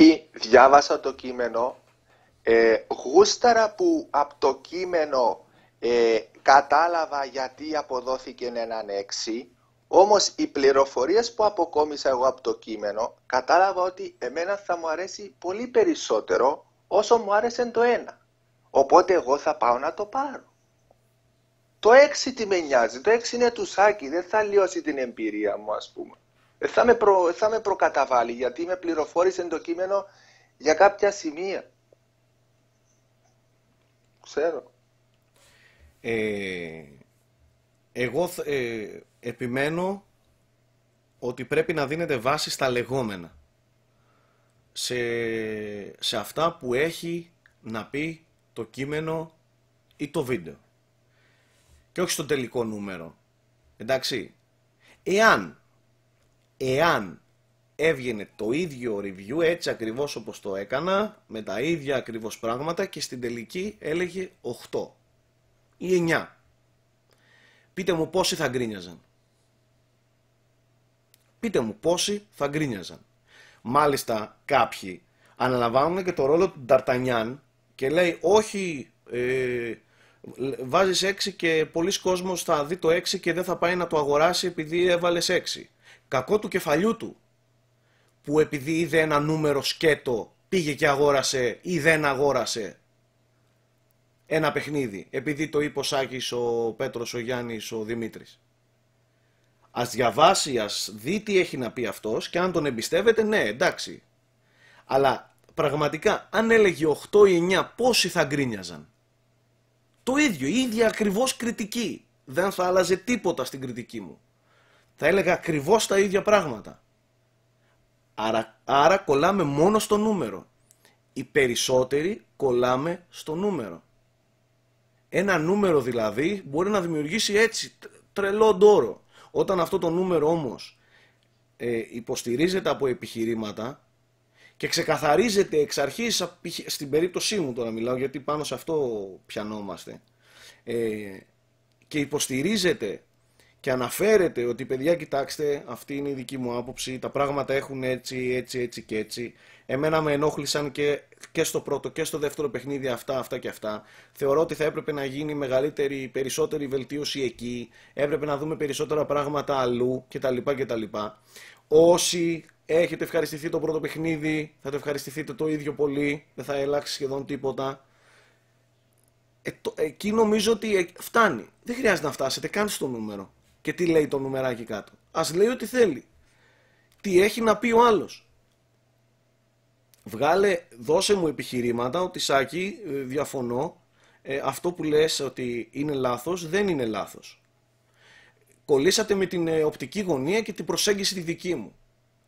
Όταν έχω ξεκαθαρίσει ότι ναι μεν γουστάρω ανελέητα τη σειρά του Raider, γουστάρω ανελέητα τη Lara Croft από τα, από τα παλιά, είμαι ερωτευμένος με αυτή τη σειρά από τα γενοφάσκια της ε, και τα λοιπά, αλλά έχω ξεκαθαρίσει ήδη ότι το συγκεκριμένο θα το δω ως αυτό που είναι, ως τη συνέχεια του remake του 2000, του remake, του reboot του 2013. Θεωρώ ότι το παιχνίδι δεν κάνει τίποτα καλύτερο από ό,τι έκανε το 2013. Ε, θεωρώ ότι το παιχνίδι δεν προχώρησε καθόλου σε κανένα σημείο. Σε κανένα δυο σημεία έκανε και πίσω. Εγώ γιατί δηλαδή να μην τα πω αφού τα βλέπω; Γιατί να μην πω ότι με ενοχλούν παιχνίδια του 2015 να έχουν αυτήν τη μέτρια AI, να έχουν αυτό το, το πολύ ε, φθηνό και επιφανειακό stealth σύστημα, να έχουν αυτό, αυτή την ακατάπαυστη νεκρή άμυαλη δράση ε, και τα λοιπά, ενώ να προσπαθούν να το παίξουν και λίγο πιο adventure και λίγο έτσι. Γιατί να μην γκρινιάξω δηλαδή για το γεγονός ότι τα Tooms και η Griff είναι άθλια γελοί ας πούμε αναφέρθηκα ότι ναι, είναι λιγάκι, η κατάσταση εκεί είναι λιγάκι βελτιωμένη. Όχι όμως αρκετή για να με πείσει εμένα σαν σάκι. Αυτό δηλαδή να μην το πω. Να κάθομαι να διαβάζω το μάνιο, αλλά αυτό που μας δίνει η εταιρεία ε, ή το διαφημιστικό φυλάδιο που έρχεται από πίσω και λέει ε, ε, γεμάτο από γρίφους, ζήσε το adventure στοιχείο αυτό. Να κάθομαι να διαβάζω αυτή τη λίστα και να σας την καταθέσω αυτή τη λίστα διαβάζοντάς τη και να πείτε «Α, εντάξει μας τα είπε». Αυτά τα βλέπετε και στα trailers και στα και CDs που ανεβάζουμε και στα βίντεο και, και στα άρθρα παντού. Μα ρε αν ήταν έτσι ας πάρω το παιχνίδι και να διαβάσω το πιστόφυλλο ας πούμε. Για, γιατί διαβάζουμε reviews, γιατί ειδικά γνωρίζουμε την, ε, την άποψη, δηλαδή το, το πώς το σκέφτεται ο συντάκτης. Διαβάζουμε για να πάρουμε μια πολύ συγκεκριμένη άποψη. Διότι μια ξερή άποψη, μια μαρκετίστικη άποψη υπάρχει στο πιστόφυλλο του παιχνιδιού ή στο τρέιλερ. Παιδιά, εγώ είμαι ξεκάθαρος. Το να διαβάζουμε manuals είναι τραγικό το να παίρνουμε και να λέμε ότι το παιχνίδι έχει αυτό, αυτό και αυτό, χωρίς να καταθέτουμε την άποψή μας ότι αυτό εμένα δεν μου άρεσε, είναι τραγικό. Δεν λέγεται review, δεν λέγεται κατάθεση άποψης. Λέγεται μεταφορά ε, πληροφοριών. Δεν πληροφορείστε απλά από ένα review. Ταυτόχρονα ενημερώνεστε, ε, ε, εισπράτετε την άποψη του, του, του συντάκτη, του ανθρώπου που το έχει αναλάβει. Εγώ πιο τραγικό από όλα θεωρώ το ότι πολλού, πολλοί θεωρούν ότι πιστεύουν ότι υπάρχει αντικειμενική κριτική και αντικειμενική άποψη. Ναι, αυτό, αυτό, αυτό είναι, είναι ανησυχητικό, δεν είναι τραγικό. Δεν τα έχουν Είναι ακούσει. πρόβλημα. Είναι Αλλά- πρόβλημα, αλήθεια. Είναι πρόβλημα σε αυτή τη βιομηχανία. Μ' ακούς Μέμο; Ναι, ναι. Ολοκλήρωσε, ολοκλήρωσε. Ε, τίποτα αυτό, να μάθουμε λίγο τις ορολογίες και αν στη ζωή, τας- στη ζωή σας γενικά πιστεύετε ότι υπάρχει αντικειμενική κριτική, θα έχετε θέμα, παιδιά. Μην λέμε τα αυτονόητα. Ο καθένας κατευθύνει την άποψή του και όποιος θέλει την ακούει. Δεν υπάρχει ότι δεν ήσουν αντικειμενικός και αντί για να κάνεις review έγραψες την άποψή σου. Είναι δυνατόν. Μα αφού ρε το λέει και η λέξη ρε, άποψη. Σε ποιον ανήκει η άποψη, σε σένα. Εσύ πώς εκφράζεσαι, με βάση την ιδιοσυγκρασία σου, με βάση τα προηγούμενα σου βιώματα. Εάν αυτό δεν είναι υποκειμενικό, τι είναι; Ακριβώς. Δεν ξέρω, έχουμε χάσει την μπάλα και γενικά από ό,τι βλέπω ένα μεγάλο μερίδιο θέλουν ε, απλά να τους χαϊδεύουν τα αυτιά όλα τα media και να λένε «Α, ωραίο παιχνίδι αυτό, πάρ' το και αυτό και αυτό και όλα Και είναι να, τέλεια». φοβούνται, και να φοβούνται τις αντιδράσεις. Ναι. Καταλαβες. Εκεί, εκεί είναι το, το ανησυχητικό. Να φοβούνται μην ε, σκάσουν από κάτω οι υποστηρικτές, δεν θέλω να τα λέω φανμπόγια και τα λοιπά, οι υποστηρικτές, οι λάτρεις ή όπως θέλετε πείτε τους, ε, να μην κράξουν την δικιά σου κριτική. Ε, και να μην σεβαστούν το ότι μπήκες εσύ στην διαδικασία και σε έναν κόπο να μεταφέρεις την άποψή σου. Και επίσης, για να μην ε, μπερδευτούμε εντελώς, σαφώς και η κριτική πρέπει ε, να δέχεται κριτική και είναι απολύτως σεβαστό. Αλλά να δέχεται σωστή κριτική με σωστά επιχειρήματα. Ε, και το να κολλάτε στο βαθμό δεν είναι σωστή κριτική. Μιας κριτικής. Εγώ δεν συμφωνώ με το 6, θα του βάζα 9. Πες μου ρε φίλε, πες μου. Συμφωνώ μαζί σου, 9. Πες μου το λόγο, να ακούσουμε. Ποιος είναι ο λόγος που εσύ θα του βάζεις 9. Το σκέτο, διαφωνώ, δεν ξέρεις τι σου γίνεται και λάθος ε, προσέγγιση κτλ. Πες τους μου τους λόγους σου. Να τους ακούσω και να τους σεβαστώ απολύτως. Δεν μπορείς όμως εύκολα να σεβαστείς, όσο και αν προσπαθείς, όσο και αν παλεύεις, δεν μπορείς εύκολα να σεβαστείς μια άποψη που λέει «Εγώ διαφωνώ, είσαι άσχετος». Τι άποψη να σεβαστείς εκεί; Έκατσε ο άλλος σου γράφει 2.000-3.000 λέξεις. Έχει φάει δύο μέρες από τη ζωή του και άλλες για να το γράψει ή να το γυρίσει και άλλες 10 μέρες για να το παίξει το παιχνίδι. Και έρχεσαι εσύ και λέει: Εγώ διαφωνώ, είσαι άσχετος. Μα δεν χρειάζεται να είσαι και ασεβής, δηλαδή και πολιτισμένα απλά να πεις ε, Σάκη διαφωνώ, είναι του 9, πάλι μπάζει νερά. Εσύ με τρεις λέξεις ε, ακύρωσες έναν κείμενο 2.000. Ε, μπες στον κόπο, εξήγησε, επιχειρηματολόγησε, ας πούμε. Ε, πληροφόρησε και κλείσουμε τους μέχρι εδώ. άλλους. Πληροφόρησε και τους άλλους, δηλαδή οι άλλοι που θα γράψουν θα διαβάσουν και τα comments. Πες μου, εσύ γιατί το βλέπεις ως 9. Θα πάρω και μια δεύτερη άποψη, ας πούμε. Εγώ, με, εγώ παραμένω υποψήφιος αγοραστής. Ε, διάβασα το 6 του Σάκη, θα ήθελα να διαβάσω και έναν που ισχυρίζεται ότι είναι του 9. Ανάλυση μου το. Βοήθαμε. Βοήθαμε να πάρω το μέρος σου. Βοήθαμε, ας πούμε, θέλεις να βγάλεις το Σάκη λαθασμένο. Βοήθα μας. Εξήγησε μας γιατί. Ε, απλά ε, έπρεπε να το θίξουμε. Το έχουμε πει πολλές φορές έτσι. Έχουμε μιλήσει για reviews και τα λοιπά. Απλά αυτή την εβδομάδα παραέγινε το κακό ας πούμε. Παρά ήταν τα σχόλια έτσι παράξενα. Ε, και εμένα με στεναχωρεί. Δηλαδή και θεωρώ ότι με αδικεί να, να γράφω ένα review και να έρχεται ο άλλος να το ισοπεδώνει ε, χωρίς να έχει επιχειρήματα. Εκεί μιλάμε για αδικία. Και επίσης, αν θέλετε να, να, να το πάμε προς τα εκεί το πράγμα, θεωρώ ότι η βιομηχανία παραέχει χαϊδευτεί. Το κοινό παραέχει χαϊδευτεί. Και νομίζω ότι το marketing ε, αρχίζει και δημιουργεί σοβαρά προβλήματα στην κρίση ε, των gamers. Υπάρχει σοβαρό χοντρό πρόβλημα. Έχουμε συνηθίσει τα Call of Duty να παίρνουν 9. Τι να κάνουμε; Δεν μπορεί να έρχεται τώρα ο Μαλάκας, ο Στραβάκος, ο Λεωνίδας να μου βάζει 7, αφού είναι 9. Αφού έχουμε συνηθίσει να είναι 9. Να είναι παιχνιδάρες. Μπορεί να είναι. Εγώ δεν διαφωνώ. Αλλά δεν μπορούμε να δεχθούμε εύκολα ότι ξαφνικά ένα παιχνίδι του 9 που το έχουμε συνηθίσει 20 χρόνια, 20, 10 χρόνια, 12 χρόνια τώρα να πηγαίνει στο 7. Κάτσε, κάτι δεν γίνεται. Κάτι δεν πάει καλά. Δίνουμε πραγματικά ακραία βαρύτητα στα reviews των μεγάλων sites που δεν θέλω τώρα να κάνω ανάλυση. Δεν θέλω να μιλήσω τώρα για αυτά τα μεγάλα sites του εξωτερικού, τα γιγαντιαία που προχθές γράφανε preview για το, για το Halo, για το Halo λέω, για το Uncharted 4 και τελικά ήταν και κράζανε το παιχνίδι ότι δεν είναι μαύρο το παιχνίδι και παίζανε την, την ε, ε, HD έκδοση του Uncharted 2 αυτά είναι τα μεγάλα sites που, που τα επιστρατεύεται πολλές φορές. Ναι αλλά εκεί ε, το τάδε μεγάλο site έβαλε 9,3 τα μεγάλα sites τα οποία ανήκουν σε, σε, σε κυκλώματα χοντρά δηλαδή όχι αστεία. Χοντρά. Πέφτει χοντρό χρήμα. Πέφτουν συμφέροντα χοντρά. Καθορίζουν ολόκληρο, ολόκληρα τμήματα marketing. Αν δίνουμε εμείς αυτά σημασία και κάθε φορά και το γέλιο ποιο είναι; Ό,τι σας βολεύει πολλές φορές το επιστρατεύετε όπου σας συμφέρει. Άλλες φορές το θεωρείτε πουλημένο το hip, το site. Ε, άλλες φορές ε, ναι αλλά το hip site το site έβαλε τόσο πρέπει να το σεβαστούμε αυτό.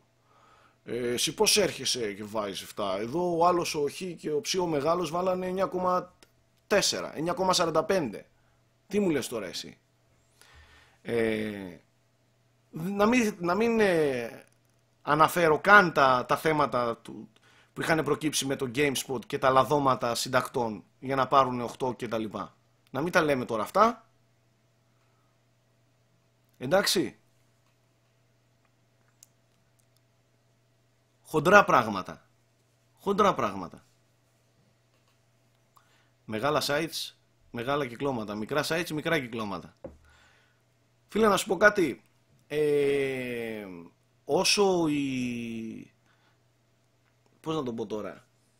Όσο η βιομηχανία... Τώρα σου μιλάω για την ελληνική βιομηχανία. Και είχα πει κάποια πράγματα σε ένα προηγούμενο frame rate ε, και παρεξηγήθηκαν.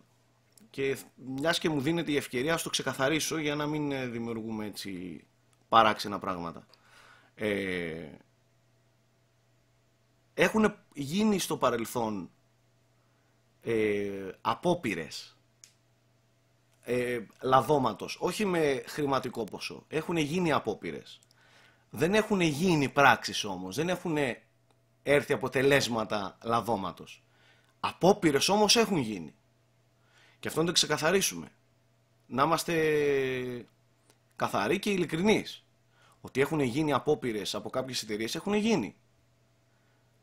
Εγώ προσωπικά έχω δει και στο παρελθόν και στο πολύ παρελθόν. Δεν έχω δει όμως, τουλάχιστον στον τριγύρο κύκλο μου, ε, πώς το λένε ρε παιδιά,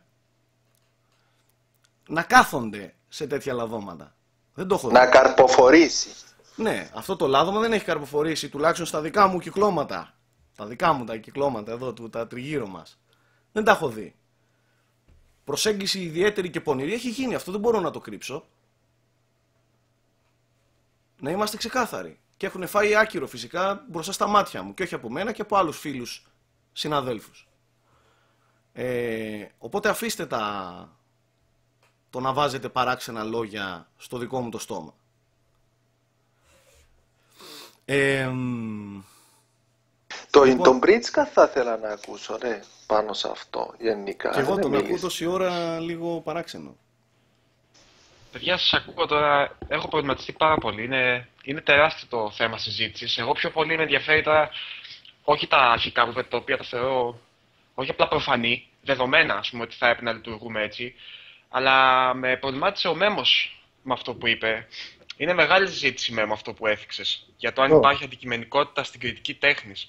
Γιατί ξέρεις, ε, μπορείς να πεις π.χ. ότι ο Μότσαρτ είναι αντικειμενικά καλός; Θεωρώ ότι οι Φυσικά, τέχνες, σε οποι- οι εγώ τέχνες που έχουν πιστεύω- φόρμα, Ναι. όπως είναι τα βιντεοπαιχνίδια ή ο κινηματογράφος, ε, μπορεί να υπάρχουν κάποια γενικά αντικειμενικά κριτήρια τα οποία αν τα πληρούν να θεωρούνται καλά. Όχι απαραίτητα να σου αρέσουν, αλλά να θεωρούνται καλά.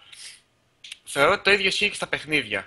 Για να μην το πάμε και στον ακραίο υποκειμενισμό, κατάλαβες τι εννοώ; Ναι, το θέμα ξέρεις ποιο είναι.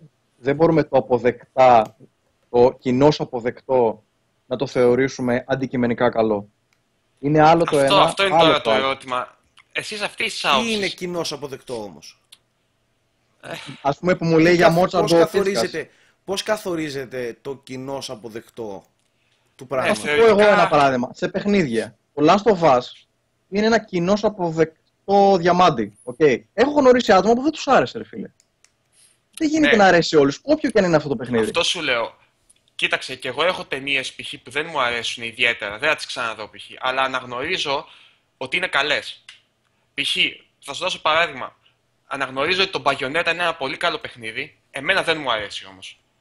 Κατάλαβες που το πάω; Εννοώ πού τελειώνει η αντικειμενικότητα και πού ξεκινάει η προσωπική σου άποψη. Και στην τελική, τι αξίζει να μεταφέρεις στον κόσμο; Αξίζει να μεταφέρεις μια ψυχρή αντικειμενικότητα και μετά ο άλλος να διαλέξει ή μήπως είναι καλύτερα να χτίσεις ένα κοινό δικό σου με βάση τις προτιμήσεις που να ξέρει ο κόσμος ότι έχεις και από εκεί και πέρα να ξέρει ότι ξέρεις ο Σάκης ή ο Γιώργος ή ο Τάδε του αρέσουν αυτά, ας τους ακούσουμε και από εκεί και πέρα ας δούμε. Κατάλαβες τι εννοώ, το θέμα είναι να μην μπερδέψεις αυτά τα δύο. Μην πεις ότι εγώ είμαι αντικειμενικός, ψυχρά αντικειμενικός και μετά μου κάνεις μια άποψη. Εγώ θεωρώ ότι ο Σάκης ξεκαθάρισε απόλυτα το τι έκανε στο κείμενό του.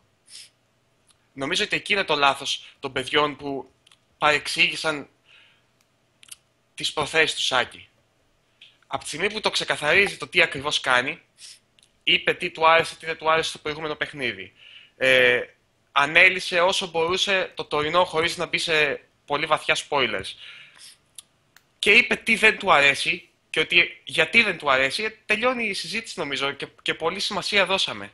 Τώρα, από εκεί και πέρα, δυστυχώς ζούμε αυτό, στην που εποχή θες του να πεις, Metacritic. ε, αυτό που θες να πεις, να το πούμε πιο απλά λόγια, ε, Ας πούμε, λέει να- το να πω εξής. κάτι. Ε, βλέπεις ένα γλυκό, το οποίο αυτό το γλυκό δεν ξέρεις εσύ τι είναι, σαν πρίτσικας, και λες, αν και για φάτο λίγο ρε φίλα να μου πεις την άποψή σου. Και σου λέω, «Μμμ, δεν μου άρεσε, δεν μου αρέσει το Ινδοκάριδο. Ενώ έχει Ινδοκάριδο. Μπράβο. Εγώ ήμουν ξεκάθαρος ότι δεν μου άρεσε, γιατί δεν Επειδή μου έχεις αρέσει το Ινδοκάριδο. Δεν Ινδοκάριδο. σημαίνει ότι το Ινδοκάριδο είναι κακό. Πρόσεξε. Εγώ δεν το ήρθα- φάγα όλο ήδη, μ' αρέσει Ναι, το δεν εντοκάριδο. ήρθα να σου πω, ου, μην το φας, δεν τρώγεται. Χωρίς να σου πω το λόγο. Σου λέω, έχει Ινδοκάριδο. Δεν μου αρέσει, φίλε Πρίτσκα. Εσένα μπορεί να σου αρέσει το Ινδοκάριδο και να πεις, φέρ το εδώ. Εντάξει. Έτσι, αυτό δεν θες να πεις ουσιαστικά. Αυτό θέλω να πω και από τη στιγμή που το ξεκαθαρίζεις μέσα στο κείμενό σου και στα λεγόμενά σου τελείωσε. Τώρα, εγώ ξεκίνησα άλλη συζήτηση όμως. Θεωρώ, σου λέω δεδομένα αυτά που είπατε για το κείμενό σου, για το όλο θέμα που δημιουργήθηκε, αν δημιουργήθηκε, γιατί εγώ δεν έδωσα και πολύ σημασία να σου πω την αλήθεια. Ε, Μπίσμπα, τι Για εννοείς το αν- αγόρι μου άστοχη παρομοίωση. Να ακούσουμε την, εύστοχη, την εύστοχη παρομοίωση. Δώσε μου μια εύστοχη πα- παρομοίωση. Έλα, για πες. εγώ αυτό που ήθελα να πω, ας πούμε, και παίρνοντας ένα παράδειγμα από τα παιχνίδια πάλι. Με το πρώτο Tomb Raider, εγώ προσωπικά είχα θέμα, όχι επειδή δεν μου άρεσε προσωπικά μόνο. Θεωρώ ότι είναι ένα κακό παιχνίδι αντικειμενικά. Εκεί ξεκινάει τώρα η συζήτηση, η ουσιαστική. Τι θεωρώ εγώ αντικειμενικά κακό παιχνίδι; Και είναι αυτό όντως αντικειμενικά κακό; Ή μήπως είναι Τώρα πάλι το, λες για, υποκειμενικό. τώρα το λες για παράδειγμα ή όντως το θεωρείς Όχι, ότι- εγώ όντως το πιστεύω. Ότι το πρώτο Το Tomb θεωρείς κακό Raider αντικειμενικά. Ναι, πιστεύω ότι είναι κακό, ένα, ένα κακοσχεδιασμένο παιχνίδι. Και μπορώ θέμα να, σου είναι κάτσω να, όμως- σου, να σου αναλύσω άμα θέλεις γιατί. Θα μου αναλύσεις, αλλά αυτά που θα μου αναλύσεις πάλι είναι προσωπική σου άποψη. Υπάρχει πάρα πολλοί κόσμος που του αρέσει αυτό το παιχνίδι. Κοίταξε, Άρα, αν πάρουμε το Συμφωνώ. κοινό αποδεκτό που λέγαμε πριν για το Mozart, άρα είναι καλό παιχνίδι αντικειμενικά. περίμενε. Ο Μότσαρτ δεν, δεν σημαίνει του α- ότι αρέσει σε όλους. Επειδή είναι Άρα; αντικειμενικά καλός, αλλά άκουσε με λίγο. Π.χ. αν θεωρήσουμε ότι το πρώτο Tomb Raider είχε ένα στόχο, έτσι, και αυτός ο στόχος ήταν να εισάγει το χαρακτήρα της Λάρα. Μέχρι εδώ συμφωνούμε; Ρε, ρε, ρε Γιώργο, όμως, αν κάτι είναι, αν κάτι είναι κοινώς αποδεκτό, για ποιο λόγο να, να υπόκειται σε, κρι- σε κριτική; Να μπαίνει στη Για- διαδικασία κριτικής όταν είναι κοινώς αποδεκτό. Δηλαδή τα παιχνίδια, ας πούμε, τα Tomb Raider, το, ε, τα νέα reboot του των Κοίταξε. Tomb Raider, ε, είναι κοινώ αποδεκτά, τα αγάπησε ο κόσμος, τα έπαιξε ο κόσμος, τα αγόρασε ο κόσμος. Ωραία, από εδώ και στο εξής να μην κάνουμε κριτική. Αυτό σου λέω είναι το ερώτημα. Πού τελειώνει αυτή, υπάρχει αυτή η ισορροπία; Δηλαδή τώρα η κλασική σου λέω που δεν τολμάει κανείς να αγγίξει. Ναι. Και δεν σου μιλάω τώρα για τα παιχνίδια. Ποια παιχνίδια, τα... η συζήτηση μας είναι τα εκεί. Εγώ σου μιλάω τώρα για μεγάλα έργα τέχνη, έτσι. ναι. Μπορεί κάποιος να τα αμφισβητήσει. Ιδού το ερώτημα. Ε, εκεί αρχίζει το πράγμα να αλλάζει γιατί Ναι, η κλασική απ' την άλλη- απ' την σημαίνει, άλλη. και, σημαίνει και, και παλιά. σημαίνει, Ναι, σημαίνει και, και ένα έργο δουλεμένη, τέχνης. ένα Μπράβο, έργο το τέχνης οποίο- που βρίσκεται πολλά χρόνια πίσω στο παρελθόν Μπράβο. και έχει περάσει από την Έχει τότε αντέξει κριτική. όλο το χρόνο κτλ. Μια κλασική μουσική του σήμερα δεν, δεν, δεν, δεν ε, κριτικάρεται. Κριτικάρεται. Ένας κινηματογράφος, ένας, ε, τώρα, τα, ας πούμε, οι, οι ταινίες του, ποιο να σου πω τώρα, του Hitchcock. Ο Hitchcock έχει πολύ μεγάλο ενδιαφέρον, ας πούμε, τώρα που το λες. Γιατί ο Hitchcock στην, στη μεγαλύτερο μέρος της καριέρας του ήταν ένας παραγωνισμένος, θεωρούταν φτηνός και εμπορικός σκηνοθέτης στην Αμερική. Μέχρι που ήρθαν οι Γάλλοι με το νέο κύμα το 1950, ας πούμε, περίπου μετά το Δεύτερο Παγκόσμιο και έδωσαν μια νέα ερμηνεία στις ταινίες του. Και φυσικά τον ανέδειξαν. Οπότε ίσως τελικά η τέχνη είναι απλά ερμηνεία. Ίσως δεν υπάρχει αντικειμενικά καλό. Βλέπεις, δηλαδή μπαίνουμε σε πολύ βαθιά τώρα νερά, τα οποία δεν αξίζει νομίζω να κάτσουμε να αναλύσουμε εις βάθος. Δεν θα καταλήξουμε πουθενά. Ε, νομίζω, πάντως συμφω- θεωρώ- Συμφωνώ α, και νομίζω ότι αυτό θα- που θα έπρεπε να, ε, να μείνει από την όλη κουβέντα είναι αυτό που είπες. Ότι αφού ο άλλος σου τα είπε, Μπράβο, ξεκαθάρισε τι θα ξεκαθάρισε κάνεις. τη θέση του και από εκεί και πέρα εσύ δεν έχεις δικαίωμα να λες ναι αλλά αυτό δεν μου το πες ή το άλλο δεν μου το πες. Επίσης, να σου πω κάτι. Ε, πρέπει λίγο να βγάλουμε από το μυαλό μας ότι υπάρχουν απόλυτες απόψεις. Και να περιμένουμε από κάποιον να έχει απόλυτη άποψη. Δε, πολλές φορές δεν γίνεται. Δεν σου έχει τύχει δηλαδή να βγεις από μια ταινία ή από ένα παιχνίδι και να πεις τώρα μ' αρέσει ή δεν μ' αρέσει. Εγώ το έπαθα αυτό. Τώρα έτυχε παίζοντας πάλι τον Darksiders 2 προχθές. Δεν μπορώ, ρε παιδιά, να καταλήξω αν αυτή η σειρά μου αρέσει ή όχι και το γράφω και στο κείμενο. Ε, δεν μπορώ, δεν, δεν ξέρω. Ε, είναι καλά παιχνίδια. Το δέχομαι ότι είναι καλά παιχνίδια, δουλεμένα, είναι καλούς μηχανισμούς. Έχουν. Δηλαδή όλα τα checklist τα, τα, τα κάνει τικ με άνεση. Αλλά για κάποιο λόγο που δεν μπορώ να εντοπίσω, μάλλον, δεν μου κάνουν το κλικ το παραπάνω. Άρα είναι Δεν μπορώ να αντικειμενικά καταλήξω. καλό και υποκειμενικά κακό. Αντικειμενικά, μάλλον, ναι, δεν, έχουν, δεν κάνουν κάτι λάθος. Σοβαρό, μάλλον κάτι λάθος. Ωραία, Εντάξει, μπορεί να μην δεν- σε δεν- ενδιαφέρει δεν εσένα αυτό το στοιχείο, το, το είδος. Ναι, είναι και η απήχηση, ας πούμε. Αυτό θέλω να σου Όχι, μα θεωρητικά το είδος θα έπρεπε να μου αρέσει ένας συνδυασμός δηλαδή της δομής του Zelda, με Zelda. λίγο God of War, με λίγο Prince of Persia. Δηλαδή Ναι. τα στοιχεία θε, θεωρητικά θα έπρεπε να μου αρέσει περισσότερο από ό,τι μου αρέσει τελικά. Κατάλαβες. Δηλαδή είναι τόσο ρευστά τα πράγματα. Μην έχετε απαιτήσεις, πάρετε απόψεις, δοκιμάστε και βγάλετε δική σα άποψη και τελείωσε. Μην κάθεστε να σκάτε τώρα. Για ποιο λόγο, τι έχεις μετοχέ για τον Tomb Raider, αν πάει 6, τι θα γίνει δηλαδή; Μα ε, αυτό προσπαθούμε να, να ξεκαθαρίσουμε. Ε, ουσιαστικά υποστηρίζουμε την, ε, ε, την όλη θέση των reviews μέσα σε ένα site. Ε, και ότι αυτά τα reviews θα πρέπει να λαμβάνονται σοβαρά μέχρι ένα σημείο. Καταλαβες. Ε, Φυσικά. και να λαμβάνονται με διαφορετικό τρόπο από ό,τι έχει συνηθίσει ο κόσμος να τα λαμβάνει. Ναι, δυστυχώς ο Οκ. κόσμος έχει γίνει ψυχαναγκαστικός. Και το Ναι. πιστεύω αυτό που λέω. Έχει γίνει ψυχαναγκαστικός με ένα βαθμό. Νομίζω ότι του χαλάει το μέσο όρο που έχει στο μυαλό του. Δεν ξέρω τώρα τι παίζει. Αλλά φταίει και το, και το Metacritic σε όλο αυτό. Γιατί Ε, ζούμε βέβαια, στην βέβαια, εποχή βέβαια. του Metacritic, ζούμε στην εποχή του αυτό είχε Metacritic 96 και αυτό είχε 87. Δηλαδή, Έτσι, ναι. εντάξει, θα πρέπει λίγο να αρχίσουμε να θεωρούμε το πώς κρίνουμε ένα καλό παιχνίδι ή και να σου πω κάτι, πες ότι κάποιο θεωρείται καλό παιχνίδι, αν δεν σε έδωσε αφήσει τίποτα, τι να το κάνεις το καλό παιχνίδι; Να λες ότι έπαιξε ένα καλό παιχνίδι που θεωρείται για τους άλλους; Τι σε νοιάζει; Ψάξε, βρες τα στοιχεία που σου αρέσουν, δες άμα το έχει και δοκίμασε. Ο Αλλιώς δεν Skype- υπάρχει άλλος Ο War Skype λέει γιατί δεν σταματάτε να βάζετε βαθμό.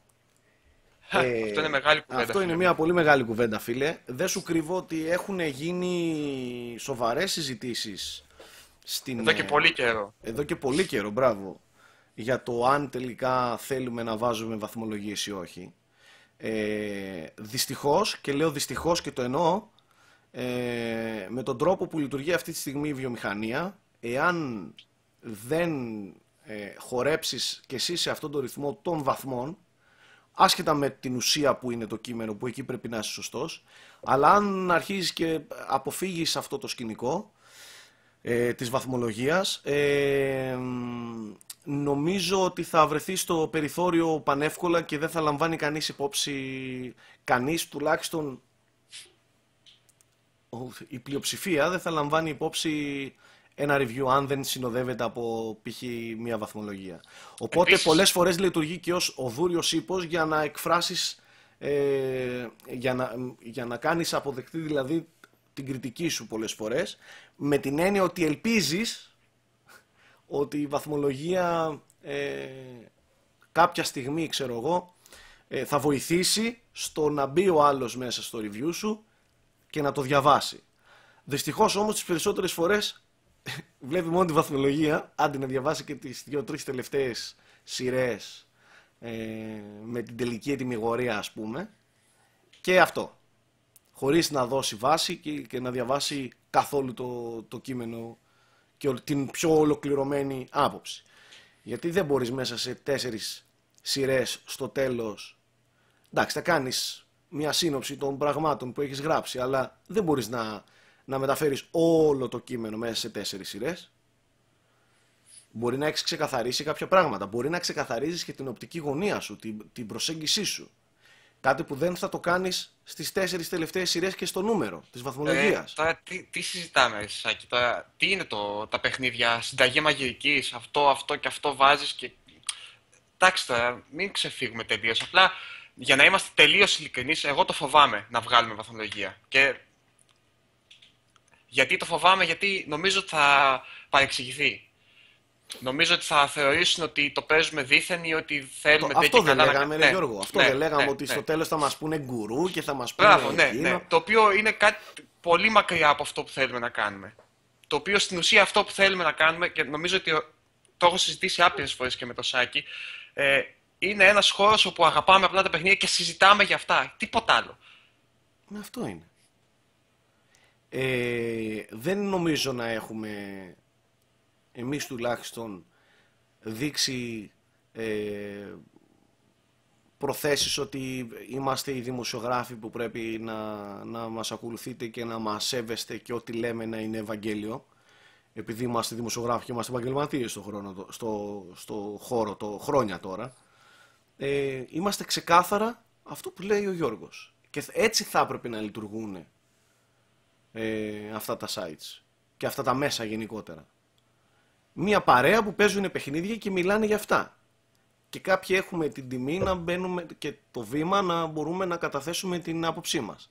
Αλλά δόξα τον ε, Πανάγαθο υπάρχουν ε, accounts, επώνυμα, όμορφα και ωραία. Μπορείτε να μπείτε, να γράψετε την άποψή σας πολιτισμένα, χωρίς να βρίζετε και τα λοιπά και να γίνει μια όμορφη κουβέντα από κάτω. Αν τα, Αυτό κείμενά δεν είναι. μας, αν τα κείμενά μας ερχόντουσαν έτσι ξερά και δεν επιτρέπαμε κανέναν από κάτω να γράφει τίποτα και δεν υπήρχαν σχόλια, Εντάξει, όταν όμως υπάρχει ε, το βήμα να γράψεις και εσύ την άποψή σου, όσο μεγάλη είναι, χωρίς όριο στις λέξεις και, στα, και στις σειρές και στα γράμματα, δεν βρίσκω κανένα, ε, κανένα λόγο, ας πούμε, τέλος πάντων. Ε, πρέπει λιγάκι να, να προσέχουμε, παιδιά, τι ζητάμε. Πρέπει να προσέχουμε τι ζητάμε από τα, από τα reviews, από τους ε, ανθρώπους που τα αναλαμβάνουν, από τις βαθμολογίες. Πρέπει λιγάκι να αναθεωρήσουμε το- τον τρόπο που, που ασχολούμαστε με αυτή τη βιομηχανία. Πάντως, για να βάλουμε και λίγο σε προοπτική ρεαλιστική αυτό που κάνουμε, έτσι, σκεφτείτε λίγο να προσπαθήσετε να βαθμολογήσετε με, α- με κλίμακα από το 0 μέχρι το 10 τα αγαπημένα σας τραγούδια, ας πούμε. Ή έστω τα τραγούδια. Είναι αδύνατον. Slayer, Black Δηλαδή, Magic ρε φίλε. Τι, Δέκα τι θα φορές. έβαζες στο Slayer, ας πούμε. Δέκα τι θα φορές. έβαζες; Δέκα φορές το Slayer. Το Black Magic. και μετά στην έντ- δέκατη θέση το έβαζα άλλα. Όχι, Έλα ρε όχι. χάζε βλάκι σου. Σου λέω να βαθμολογήσεις, π.χ. βάζω στο Smoke on the Water 9,5. Γιατί ε, ε, θετικά, καλό solo, καλή φωνή, ε, μέτρια drums, ξέρω εγώ. Γίνεται. Δεν γίνεται. και μετά, μετά όμως θα βάλεις το Child in Time 9, άρα το Child in Time είναι χειρότερο από το Smoke on the Water. Τέλος Είναι πάντων. χειρότερο τραγούδι. Ναι, ναι. Είναι, είναι Δεν πολύ στέκει, μεγάλο. ρε παιδιά, μεγάλο δεν θέμα. στέκει. Ναι, όλο αυτό είναι εμπόριο. Δηλαδή, α, α, είναι εμπόριο, είναι οδηγός αγορών. Κακά τα ψέματα. Τι να κάνουμε. Ναι, ισχύει. Ισχύει και πάνω σε αυτό το εμπόριο παίζονται πάρα πολλά, έτσι. Γι' αυτό λέμε, μην Παίζονται δίνετε σημασία πάρα αυτά. Ναι, συζητήστε, αυτό είναι το θέμα. Συζητήστε. Πείτε την άποψή σας, αναλύστε, σκεφτείτε. Μα μόνο, μόνο μέσω της, της ζήμωσης, της κουβέντας, της Αυτό, μα συζήτησης, αυτό είναι, της εκεί είναι όλη η ανταλλαγής, μαγεία. εκεί, εκεί ίσως να βγει η άκρη. Κατάλαβες, εκεί ίσως να βγουν τα πιο ασφαλή συμπεράσματα. Γι' αυτό και πολλές φορές τα σχόλια από κάτω βοηθούν πάρα πολύ. Βοηθούν στο συντάκτη ώστε να ξεκαθαρίσει και τη θέση του. Ναι, ναι. Ε, καταλαβες. Αυτό, η, η, η όλη ουσία είναι αυτή. Και νομίζω ότι φτάσαμε προ, όχι στο τέλος, προς το ναι τέλος αυτά αυτής φτάνει, της- ας το κλείσουμε αυτό το θέμα, γιατί εντάξει τώρα. Αυτής η κουβέντα. Ξέρεις ότι πήγε 12 παρά 10 παιδιά, δεν πήρα χαμπάρι. Νόμιζα ότι είναι 11 και κάτι ακόμα. Έλα, έχει και Nintendo Direct σε 10 λεπτά. Έχει Nintendo Direct, θα το καλύψουμε όλο στο unboxholic.com αμέσως μετά. Ο, ο Θέμης γιατί δεν έχει μιλήσει τόση ώρα; Άμα πω ότι έτρωγα, Καλά, ρε, δεν δεν θα το πω γιατί είναι προσβολή προς τους υπόλοιπους. Α, ανάμιση ώρα έτρωγες, εσύ τι έτρωγες; Κοίτα, δεν έτρωγα όλη την ώρα, προς το τέλος έτρωγα, ειδικά όταν ε, ξεκίνησε να μιλάει ο Γιώργος, γιατί δεν ήθελα ούτε να διακόψετε τίποτα, σεβασμός. Αλλά ένα σημείο που είπε, ήθελα να το ξανατονίσω, ότι τα αρνητικά και τα θετικά, σε ένα σημείο πραγματικά μηδενίζουν ακόμη περισσότερο τα πράγματα από τη βαθμολογία. Τι- Τι να κρατήσεις, μειώνεις ακόμη περισσότερο το κείμενο των 3.000 λέξεων, ας πούμε, ή το τάδε, με το να πεις καλά γραφικά, κακό το τάδε. Το συνοψίζοντας σε το προτιμώ. Είναι, ας πούμε, μία παράγραφος που μπορείς να πεις κάτι παραπάνω. Και το διαβάζουν Εκεί- οι περισσότεροι. Ναι, είναι για τους τεμπέλητες και αυτό, έτσι, για να τα λέμε. Είναι για αυτούς ή για αυτούς που δεν έχουν χρόνο, για να μην πούμε τεμπέλητε. Είναι για αυτούς που ενδεχομένως να μην έχουν χρόνο. Μια ευκολία. Αλλά σε καμία περίπτωση δεν αντικατοπτρίζει τη γενικότερη άποψη. Πρέπει να διαβάσεις το κείμενο. Τελείωσε. Ιδίως άμα έχεις σκοπό να, να σχολιάσεις, έτσι. Ναι, ναι, φυσικά. Γιατί, ρε παιδιά, πρέπει να. Εμείς ή οποιοδήποτε γράφει ένα κείμενο, μην νομίζετε ότι δεν έχει άγχος. Μην νομίζετε ότι δεν έχει προσπαθήσει για αυτό το πράγμα. Όσο και αν εσάς σας φαίνεται, ας πούμε, γελίο ή μπορεί να σας φαίνεται τι είναι, χάλια, ό,τι θέλετε πείτε το. Για τον άλλον έχει σημασία το κάθε τι που θα γράψεις, θα το επεξεργαστεί, θα το δει. Τέλος Έτσι, πάντων. ισχύει. Ισχύει, ας πούμε τώρα ο Θέμης έχει φοβερό άγχος, έτρωγε. Μπορεί να το Είναι τα το νύχια του, γάλα δεν με το ξέρει. Είναι, είναι χάλια είναι το παιδί. το παιδί είναι χάλια. χάλια. Ε, Στάρκ και εσύ έτρωγες; Ε, όχι φίλε, σας ακούω. Δεν ε, μπορούσα να μιλήσω, έπρεπε να τελειώσει ο Γιώργος να το κλείσουμε το θέμα. Τώρα, γιατί αν ξεκινήσει ο καθένας να λέει τη γνώμη του για την κριτική Ναι, ναι. περί βαθμολογίας και το τι γίνεται, δεν μας φτάνουν ούτε πέντε ώρες πιστεύω. Καλά, εννοείται. Είναι... Έχεις δίκιο. Ε, τι άλλο έχουμε στο τέταρτο; Τι θέλετε να πούμε για το τέταρτο; Παρουσίαση Nintendo NX σε λίγα λεπτά. Σιγά που θα γίνει. και μένουμε, λέει, Παρουσίαση, και δεν ρε, θυμόμαστε πλάκα καν τι κάνεις. συζητήσαμε μετά. Πλάκα κάνεις. Πάντως, τώρα για να θέξουμε λίγο και αυτό, άμα θέλετε. Τι πάλι για Nintendo; Όχι, τι εννοείς πάλι; Δεν έχουμε πει τίποτα σήμερα. Α, Μόνο σήμερα. Μόνο σήμερα. Τις άλλες φορές, ναι, δεν. Απλά κοίταξε τώρα, επειδή έχεις σε 10 λεπτά, ρε παιδί μου. Θες να πούμε τι αναμένουμε περίπου να ακούσουμε; Τίποτα. Τίποτα. Τι αναμένουμε; Ποιος το- ποιος το είπε Αμήπως. αυτό; Καινούργια Ό,τι. μήπως. Όχι, ρε, καινούργια μήπως εντάξει, λογικά ναι. Λογικά Ε, DLC ναι. για, το, για το Smash ή για το Splatoon. Λογικά κάποιες- το, το Minecraft ναι. που βγήκε κιόλας σήμερα. Διέρρευσε. Ναι. Εγώ ευελπιστώ σε μια πτώση τιμής. Δηλαδή δεν μπορώ, το θεωρώ αδιανόητο ότι δεν θα κάνει πτώση τιμής. Το Wii U. Ναι. Πόσο, δηλαδή θα τελειώσει τη ζωή του χωρίς πτώση τιμής, τι θα κάνει; Τέλος πάντων, θα Είναι δούμε. σαν, να, είναι σαν να μου λες θα πάω σε γιατρό τον νεκρό.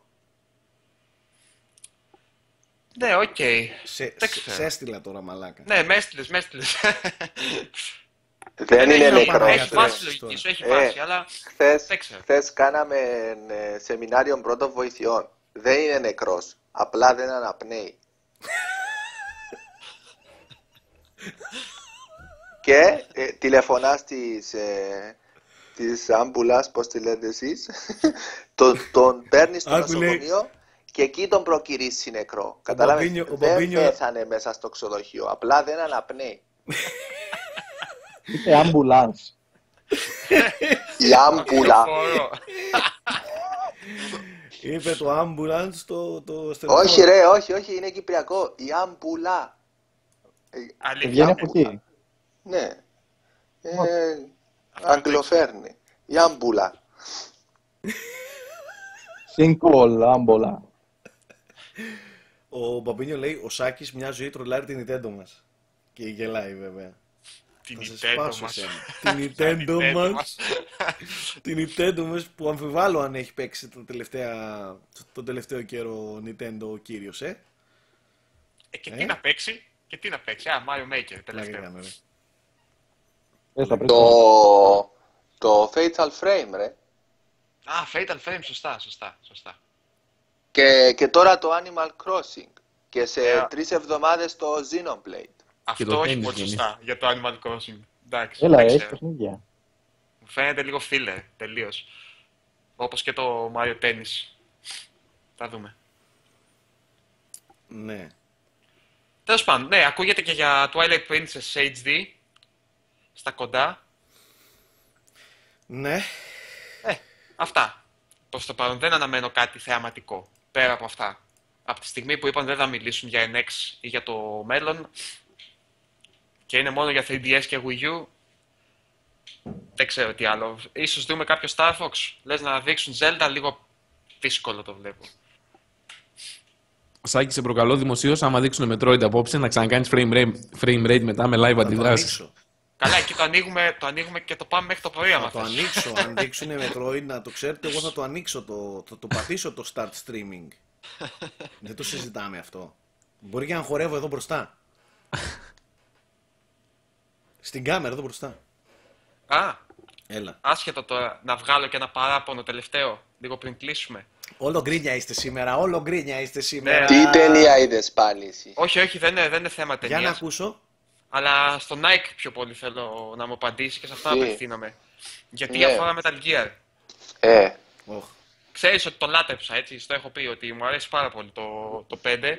ναι. Απογοητεύτηκα πάρα πολύ στον τρόπο που είναι στημένο σαν ε, τηλεοπτικό επεισόδιο, αλλά δεν έχει χιονίσει, είναι στημένο με αυτόν τον τρόπο. Δηλαδή, προς το τέλος υπάρχουν κάποιες αποστολές οι οποίες λήγουν στη μέση της δράσης. Το θυμάσαι; Στο, προς το τέλος του πρώτου chapter, έτσι, μην παρεξηγηθώ. Ναι. Και για κάποιο λόγο γράφει to be continued και σε επιστρέφει στο ελικόπτερο, όπου βλέπεις τον Snake να κάθεται πάλι και πρέπει να Ναι. διαλέξεις εσύ την επόμενη αποστολή για να συνεχίσει για κάποιο λόγο η ιστορία από εκεί που ήταν. Ναι, ναι, το έκανε εντελώς επεισοδιακό, ρε. Αφού, ρε, Απλά- κάποτε είναι, και- είναι και spoilers. Το είδες ότι κάποτε ξεκινάει η αποστολή και σου λέει guest stars πριν προ, ποιοι πρωταγωνιστούν. Ναι, ναι, και ναι. μπορεί να σου γράψει έναν εχθρό που λες... Ναι, το δηλαδή- Ναι, ας πούμε. Δηλαδή Ναι. εντελώς ε, εκείνη τη σειρά, ας πούμε. Απλά ξε, ξέρεις γιατί με ενόχλησε αυτό. Ενώ έχει μια τόσο ωραία συνοχή σαν κόνσεπτ Όπα, όλο το όπα, παιχνίδι. κάτι, σταμάτα να κατεβάζεις εσύ το... Τι κατεβάζεις. Ποιος; Εσύ ακούγεσαι λίγο χάλια. Για πες τώρα, καθάρισες Δεν, λίγο. έ- δεν έκανα κάτι. Για πες. Λέω, ενώ όλο το υπόλοιπο παιχνίδι έχει μια τόσο ωραία συνοχή και όλα έχουν ένα νόημα, ρε παιδί μου. Βγάζουν, δεν δεν σου φαίνεται σαν παιχνίδι, παιχνίδι ντε και καλά, ας πούμε, σαν να είναι βεβαιασμένα ή σαν να είναι επιτιδευμένα. Αυτά τα συγκεκριμένα ε, μου κατέστρεψαν όλο το τέτοιο. Ε, το, το immersion, ας πούμε. Θεωρείς ότι Ε. αφού από τη στιγμή που συνεχίζει, άστο να συνεχίσει. Δεν στέκει, ας πούμε, ο Snake ξαφνικά να είναι στο ελικόπτερο και να διαλέγει. Ή άμα θες να φύγεις ξαφνικά από τη μέση της αποστολής την ώρα που ανατινάζεται, π.χ. λέμε τώρα κάτι, να φύγεις εσύ από εκεί και να πας να κάνεις side ops. Άστο εκεί, ένωσέ το. Κάντο μία αποστολή άμα θέλεις. Δεν ξέρω. Μου κακοφάνηκε πολύ αυτό. Και σου λέω γιατί κάνει μπαμ, γιατί όλο το υπόλοιπο παιχνίδι έχει τόσο ωραία συνοχή. Όλα δένουν τόσο αρμονικά μεταξύ τους. Τέλος πάντων. Αυτό ήθελα να πω. Δεν ξέρω α, αν έχεις κάποια άλλη άποψη, γι' αυτό σε ρώτησα εσένα, επειδή ξέρω. Ε, ότι- ε, ναι, το- εντάξει, εμένα... ε, Μαλάκα θα δεν αρχίσεις σε πάλι τα χάλασε μαθηματικά ρε μαλάκα. Όχι δεν ρε, χάλασε όχι, τόσο. εντάξει, Θα αρχίσει κοίταξε. πάλι όχι. το, το, τους Εμένα αλγορίθμους ναι, εκεί με- να τους επιστρατεύει. Ε, με ενόχλησε τόσο αυτό. Ξέρεις, τε- ξέρεις το- γιατί, το- Nike, Ναι. Με ενόχλησε, αλλά όχι κακοφάνηκε. τόσο όσο εσένα. Θυμάσαι ας πούμε ότι τα προηγούμενα Metal Gear ήταν παιχνίδια τα οποία έπαιζαν και με τον πραγματικό χρόνο πολύ. Δηλαδή ας πούμε το πρώτο εκτελήσεται σε μία νύχτα π.χ. Το οποίο ήταν Ναι. ωραίο ρε παιδί μου. Είχε συνέδεται στην ατμόσφαιρα αυτό το πράγμα. Και το δεύτερο και το τρίτο δεν είχαν αυτό το αποκομμένο που ένιωθες ότι παίζεις κομμάτια του puzzle απλά. Τέλος πάντων. Ε, ναι, το 5 όμως εξελίσσεται σε πολλές μέρες, μήνες, ξέρω εγώ. Εντάξει. Αυτό θέλω να σου πω. Εξελίσσεται και το πάει. στέκει έτσι όπως το είχε στήσει. Με τις αποστολές που χτίζει το στρατό σου και τα λοιπά και κάνεις τέτοια. Αλλά εκεί, αφού είναι στη μέση της δράσης, μην μου το κόβεις. Δεν έχει νόημα. Δηλαδή, σαν να έχει νοηματικό κενό, ας πούμε. εκεί πέρα. Ο παίχτης λέει τι γίνεται τώρα, τι συνέβη. Τέλος πάντων. Αυτό ήθελα να πω, ήθελα να το βγάλω από μέσα μου. Γιατί μου έκανε εντύπωση και επειδή μου άρεσε πάρα πολύ το Metal Gear, το θεωρώ αριστούγημα ειλικρινά, ε, μου κακοφάνηκε πολύ. Ε, θα συμφωνήσω. Ε, πάνω κάτω τα ίδια παράπονα έχουμε. Ε, Λεπρίτσκ. Ναι, δεν ξέρω, είναι σαν να το έλαε. Ο... Πάλι, Αλλά και την ο ίδια Τζίμ. άποψη. Ε, Πολύ ιδιαίτερο παιχνίδι, ρε φίλε. Πάρα πολύ. Ε, το Εντάξει, θεωρώ κι εγώ ένα σου πω αριστούργημα, μια παιχνιδάρα ατελείωτη, αλλά ταυτόχρονα έχω και αρκετά παράπονα. Δεν ξέρω πώς συμβαίνει. Αλλά εκεί Ναι. είναι ίσως η ουσία. Εκεί το... Έχει κάποια, ναι, έχει κάποια. Έχει και άλλα τέτοια κουλά. Π.χ. είσαι στη μέση, σε κυνηγάει τώρα ο μισός στρατός, βρίσκεις έναν prisoner το οποίο είναι στο σενάριο, ξέρω εγώ, να σώσεις και ξεκινάει cutscene και ξαφνικά όλα ξεχνιούνται. Δηλαδή όλα παγώνουν, παίζει το Εντάξει, αυτά, cutscene, ναι, ναι. τελειώνουν, ξανασυνεχίζονται. Ναι. Για εγώ δεν έχω παίξει ακόμα το 5, θα το παίξω μέσα, στα- μέσα στο Δεκέμβρη τα Χριστούγεννα. Παίζω Fallout Αλλά εσύ, ρε. ό,τι λέτε, αυτά τα άκυρα, τα, το ότι είναι διαμαντάκι αλλά έχει πολλά λεπτόματα, όλα τα Metal Gear τα έχουν.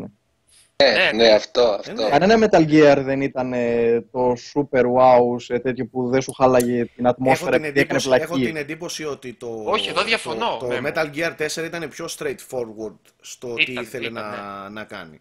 Βασικά ήθελε Ισχύει, να πει ε. μια ιστορία το 4 και δεν Ισχύει, Το πολύ. Ισχύει, 4, αλλά- το 4 ήταν Ξανά- ξεκάθαρα βασισμένο πάνω στην ιστορία, στο, στην μπλοκή, σε αυτό, τέλος. Ε, το, το 5, λόγω του ότι μπήκε σε άλλο τρυπάκι, αυτό του open world που έπρεπε να κάνει πράγματα με τη Mother Base και τα λοιπά, ε, είναι σαφέστατα, έχει σαφέστατα περισσότερους, περισσότερα μέτωπα ανοίξει προς τον παίκτη ώστε να, τα, να τον ενοχλήσουν ή να τα, ή να τα γουστάρει. Στο 4 είχες ένα μέτωπο, το οποίο έλεγε σενάριο. Τώρα το αν δεν Ισχύει, σου ναι. άρεσε, Το 4 σίγουρα ήταν και από τα καλύτερα Metal Gear, ε, κανείς δεν το για μένα το αφισβητεί. καλύτερο. Απλά ακόμα και αυτό, Αλήθεια, επειδή το λέτε. έπαιξα... Εγώ παιδιά αυτό το θεωρώ το χειρότερο. Αλήθεια. Ναι, δεν, δεν το έχω σε Ορίστε, πάρα πολύ Ρίτσκα, μεγάλη εκτίμηση. αυτό είναι αντικειμενικά καλό παιχνίδι. Πρέπει να το δεχτείς. ρε φίλε. Το 4. Ναι. Ναι, ναι. Γιατί, μα γιατί; Γιατί έτσι, πήρες 10 και 9. Η, η απόδοση ιστορίας εκεί Πες το και μεταξύ. όλο το lore και πώς κα- κλείνεται, πώς οι κύκλοι κλείνονται ως προς, τη, ως προς το κρυόκοδος, lore Πρίτσκα. χαρακτήρες και ξέρω εγώ, ναι, εκείνο, ε, εκείνο ήταν love letter για τους fans που παίξαν όλα Μπράβο. τα υπόλοιπα. Αυτό ε. συμφωνώ ότι ήταν το μεγαλύτερο fan service το 4. Αλλά σαν παιχνίδι, νομίζω ότι δεν μπορεί να συγκριθεί ούτε με το 3 ούτε με το 2. Καλά, το 1. Εντάξει, Καλό. ίσως. Όποιος Σαν, πέσει δεν- σαν τελευταίο. παιχνίδι, ε. Και ως σαν παιχνίδι παιχνίδι. όμως ρε, είχε πολύ ωραία και boss fights και δηλαδή boss- η κορύφωση κάποιων boss fights, δηλαδή bosses που αντιμετώπιζες σε άλλα Metal Gear τώρα αντι- έρχονταν αντιμέτωποι ως bosses μεταξύ τους ας πούμε, ξέρω εγώ. Και εγώ Αυτό ισχύει, Και, σου και, λέω, αλλά, και, και διαφωνώ με τον εμφυλιακά Πρίτσκα. είχε ωραία set pieces. αλλά θα σου Ε, πω τώρα. Φυσικά. Έστω Ναι. ποιο θες το πιο ωραίο, πάρε το αγαπημένο σου Metal Gear. Αν το παίξεις σήμερα, θα δεις ότι είχε ε, λάθη τα οποία έχεις χάσει. Γιατί τόσα χρόνια μετά εσύ θυμάσαι μόνο τα θετικά και θεωρείς ένα διαμάντι, αλλά Ξέρεις έχει κάτι; μέσα ένα κάρο κοτσάνες. Δεν Ναι, διαφωνώ σε αυτό που λες. Απλά για κάποιο, με κάποιον περίεργο τρόπο είχαν μια διαστραμμένη μεν, αλλά είχαν μια συνοχή, μια λογική. Που έλεγες αυτό είναι το Metal Gear και εντάξει, ρε παιδί μου, βγαίνει ένα νόημα για το πώς είναι χτισμένο. Ακόμα και το, το θαυμαστικά, ας πούμε, πάνω από τα κεφάλια τους, όταν σε κοιτάνε. Εντάξει, λες τώρα τι χαζομάρα είναι αυτό. Αλλά είναι όλα στημένα με κάποιον τρόπο που μέσα στο σύμπαν του έβγαινε νόημα. Εδώ, στο 5, νομίζω ότι έρχεται σε αντίφαση με τον ίδιο τον εαυτό σε κάποιες φάσεις. Κατάλαβες; Σε Walker αυτό το που περιγράφω έχει. συγκεκριμένα. Τα άλλα δεν είχαν τέτοιες αντιφάσεις εντός τους. Μπορούσαν να είχαν, ας πούμε, κάτι πολύ τραγελαφικό και να μέσα επόμενη στιγμή να είχε μια, ένα βαρύ δράμα, ας πούμε. Είχε τέτοια, αλλά ο Kojima μια ζωή έπαιζε με, με αυτά τα συναισθήματα, ας πούμε. Αλλά το, σου λέω σε αυτό, ενώ φαίνεται τόσο μελετημένο το παιχνίδι και οι μηχανισμοί του είναι δεμένοι τόσο ωραία μεταξύ τους, με το κόνσεπτ και με την ιδέα και με το σενάριο, ε, εκεί δεν ξέρω, επέλεξε να ακολουθήσει ψυχρά τη δομή του. Ναι. Το 4 που λέτε είναι φοβερό. Τι Εμένα δεν σου με άρεσε, συγκίνησε. μαλάκα, στο 4? Κοίτα, με συγκίνησε σαν ιστορία, αλλά δεν έχω κάτι να θυμάμαι. Και τα bosses που λέτε, όντως θυμάμαι που λέει ο Nike, αλλά θυμάμαι λόγω της ιστορίας πάλι. Δεν έχει Καταρχάς όμω. ήταν το 1 πέμπτο του 5, σαν μέγεθος. Ναι, δεν το Ε, όλα, όλα είναι το N5, ένα Ναι. πέμπτο του 5. Ναι. Ναι. Όλα Απλά- αυτά τα cinematics ήταν περισσότερα το gameplay, έτσι. Παιδιά, σκεφτείτε, ας πούμε, είχε τώρα εντάξει, Εντάξει, ο τα boss cinematics μεσόωρο είχε, είχε και EDM. cinematics που έβλεπες 5 λεπτά να βράζετε ένα, να τηγανίζετε ένα αυγό. Δεν είναι. Ισχύει, ναι. Εκείνο ήταν ε, μυστικό ε, install. ναι, παίζει και Θυμάστε, αυτό, παίζει είχε και αυτό, παίζει installs. αυτό. Ναι, είχε ναι, και ναι, ναι, installs, ναι, ναι. αλλά και Ισχύει, κάποια ισχύει. installs τα κρύψανε σε cutscenes. Το σκέφτεσαι αυτό. δεν υπάρχει μελάκι κοντσίμα, δεν υπάρχει. Ε, τι, έβλεπες το, το Snake να, να καπνίζει τσιγάρο 5 λεπτά και μετά άλλο 5 λεπτά τηγάνισμα του αυγού έγινε install το chapter 2. Τι.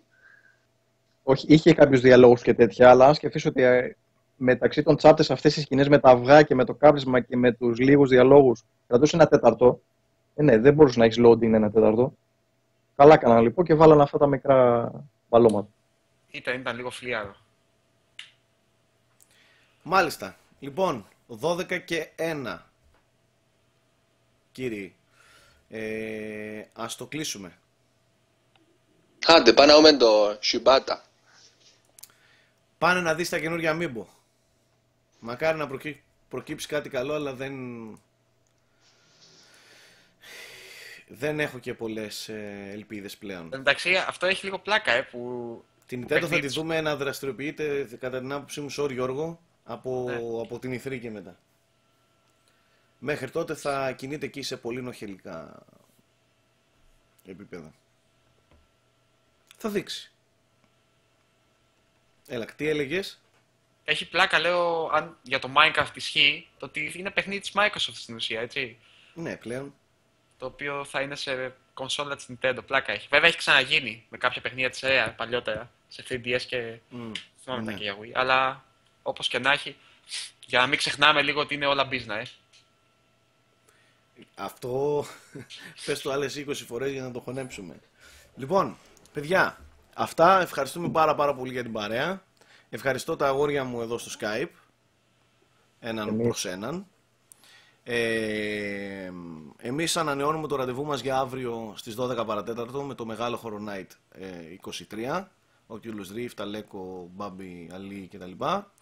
Ε, με τους καρδιτσιώτες και τους εκεί γύρω των εκεί περιοχών θα τα πούμε το Σάββατο στο μεγάλο event Fallout 4 ε, στις 14 Νοεμβρίου Σάββατο 4 η ώρα στο κατάστημα 7 Spot έχουμε Fallout 4 event στην Καρδίτσα ε, Sorry, έλα. sorry, ε, Twilight Princess 4 Μαρτίου 2016 για Wii U. έλα ρε πόνε Ναι, μόλις το άνοιξα τώρα, βλέπω αυτό. Ναι, ναι, ναι, Zelda, ναι, ναι. Με Twilight Princess. συνευτική με την Ναι, Επόνα και το Link. Συλλεκτική με, ναι, με Midna, από ό,τι βλέπω. Όπα, και Sorry, ξεκινάει για Midna, Wii U. είπα Επόνα. Παιδιά δείχνει για Wii U Zelda. το καινούριο ναι.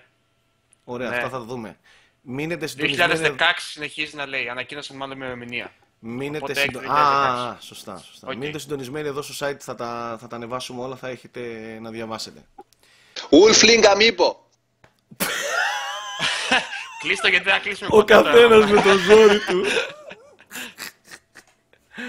λοιπόν, να είστε καλά. Ευχαριστώ πάρα πολύ για την παρέα. Φιλιά σε όλους. Καληνύχτα.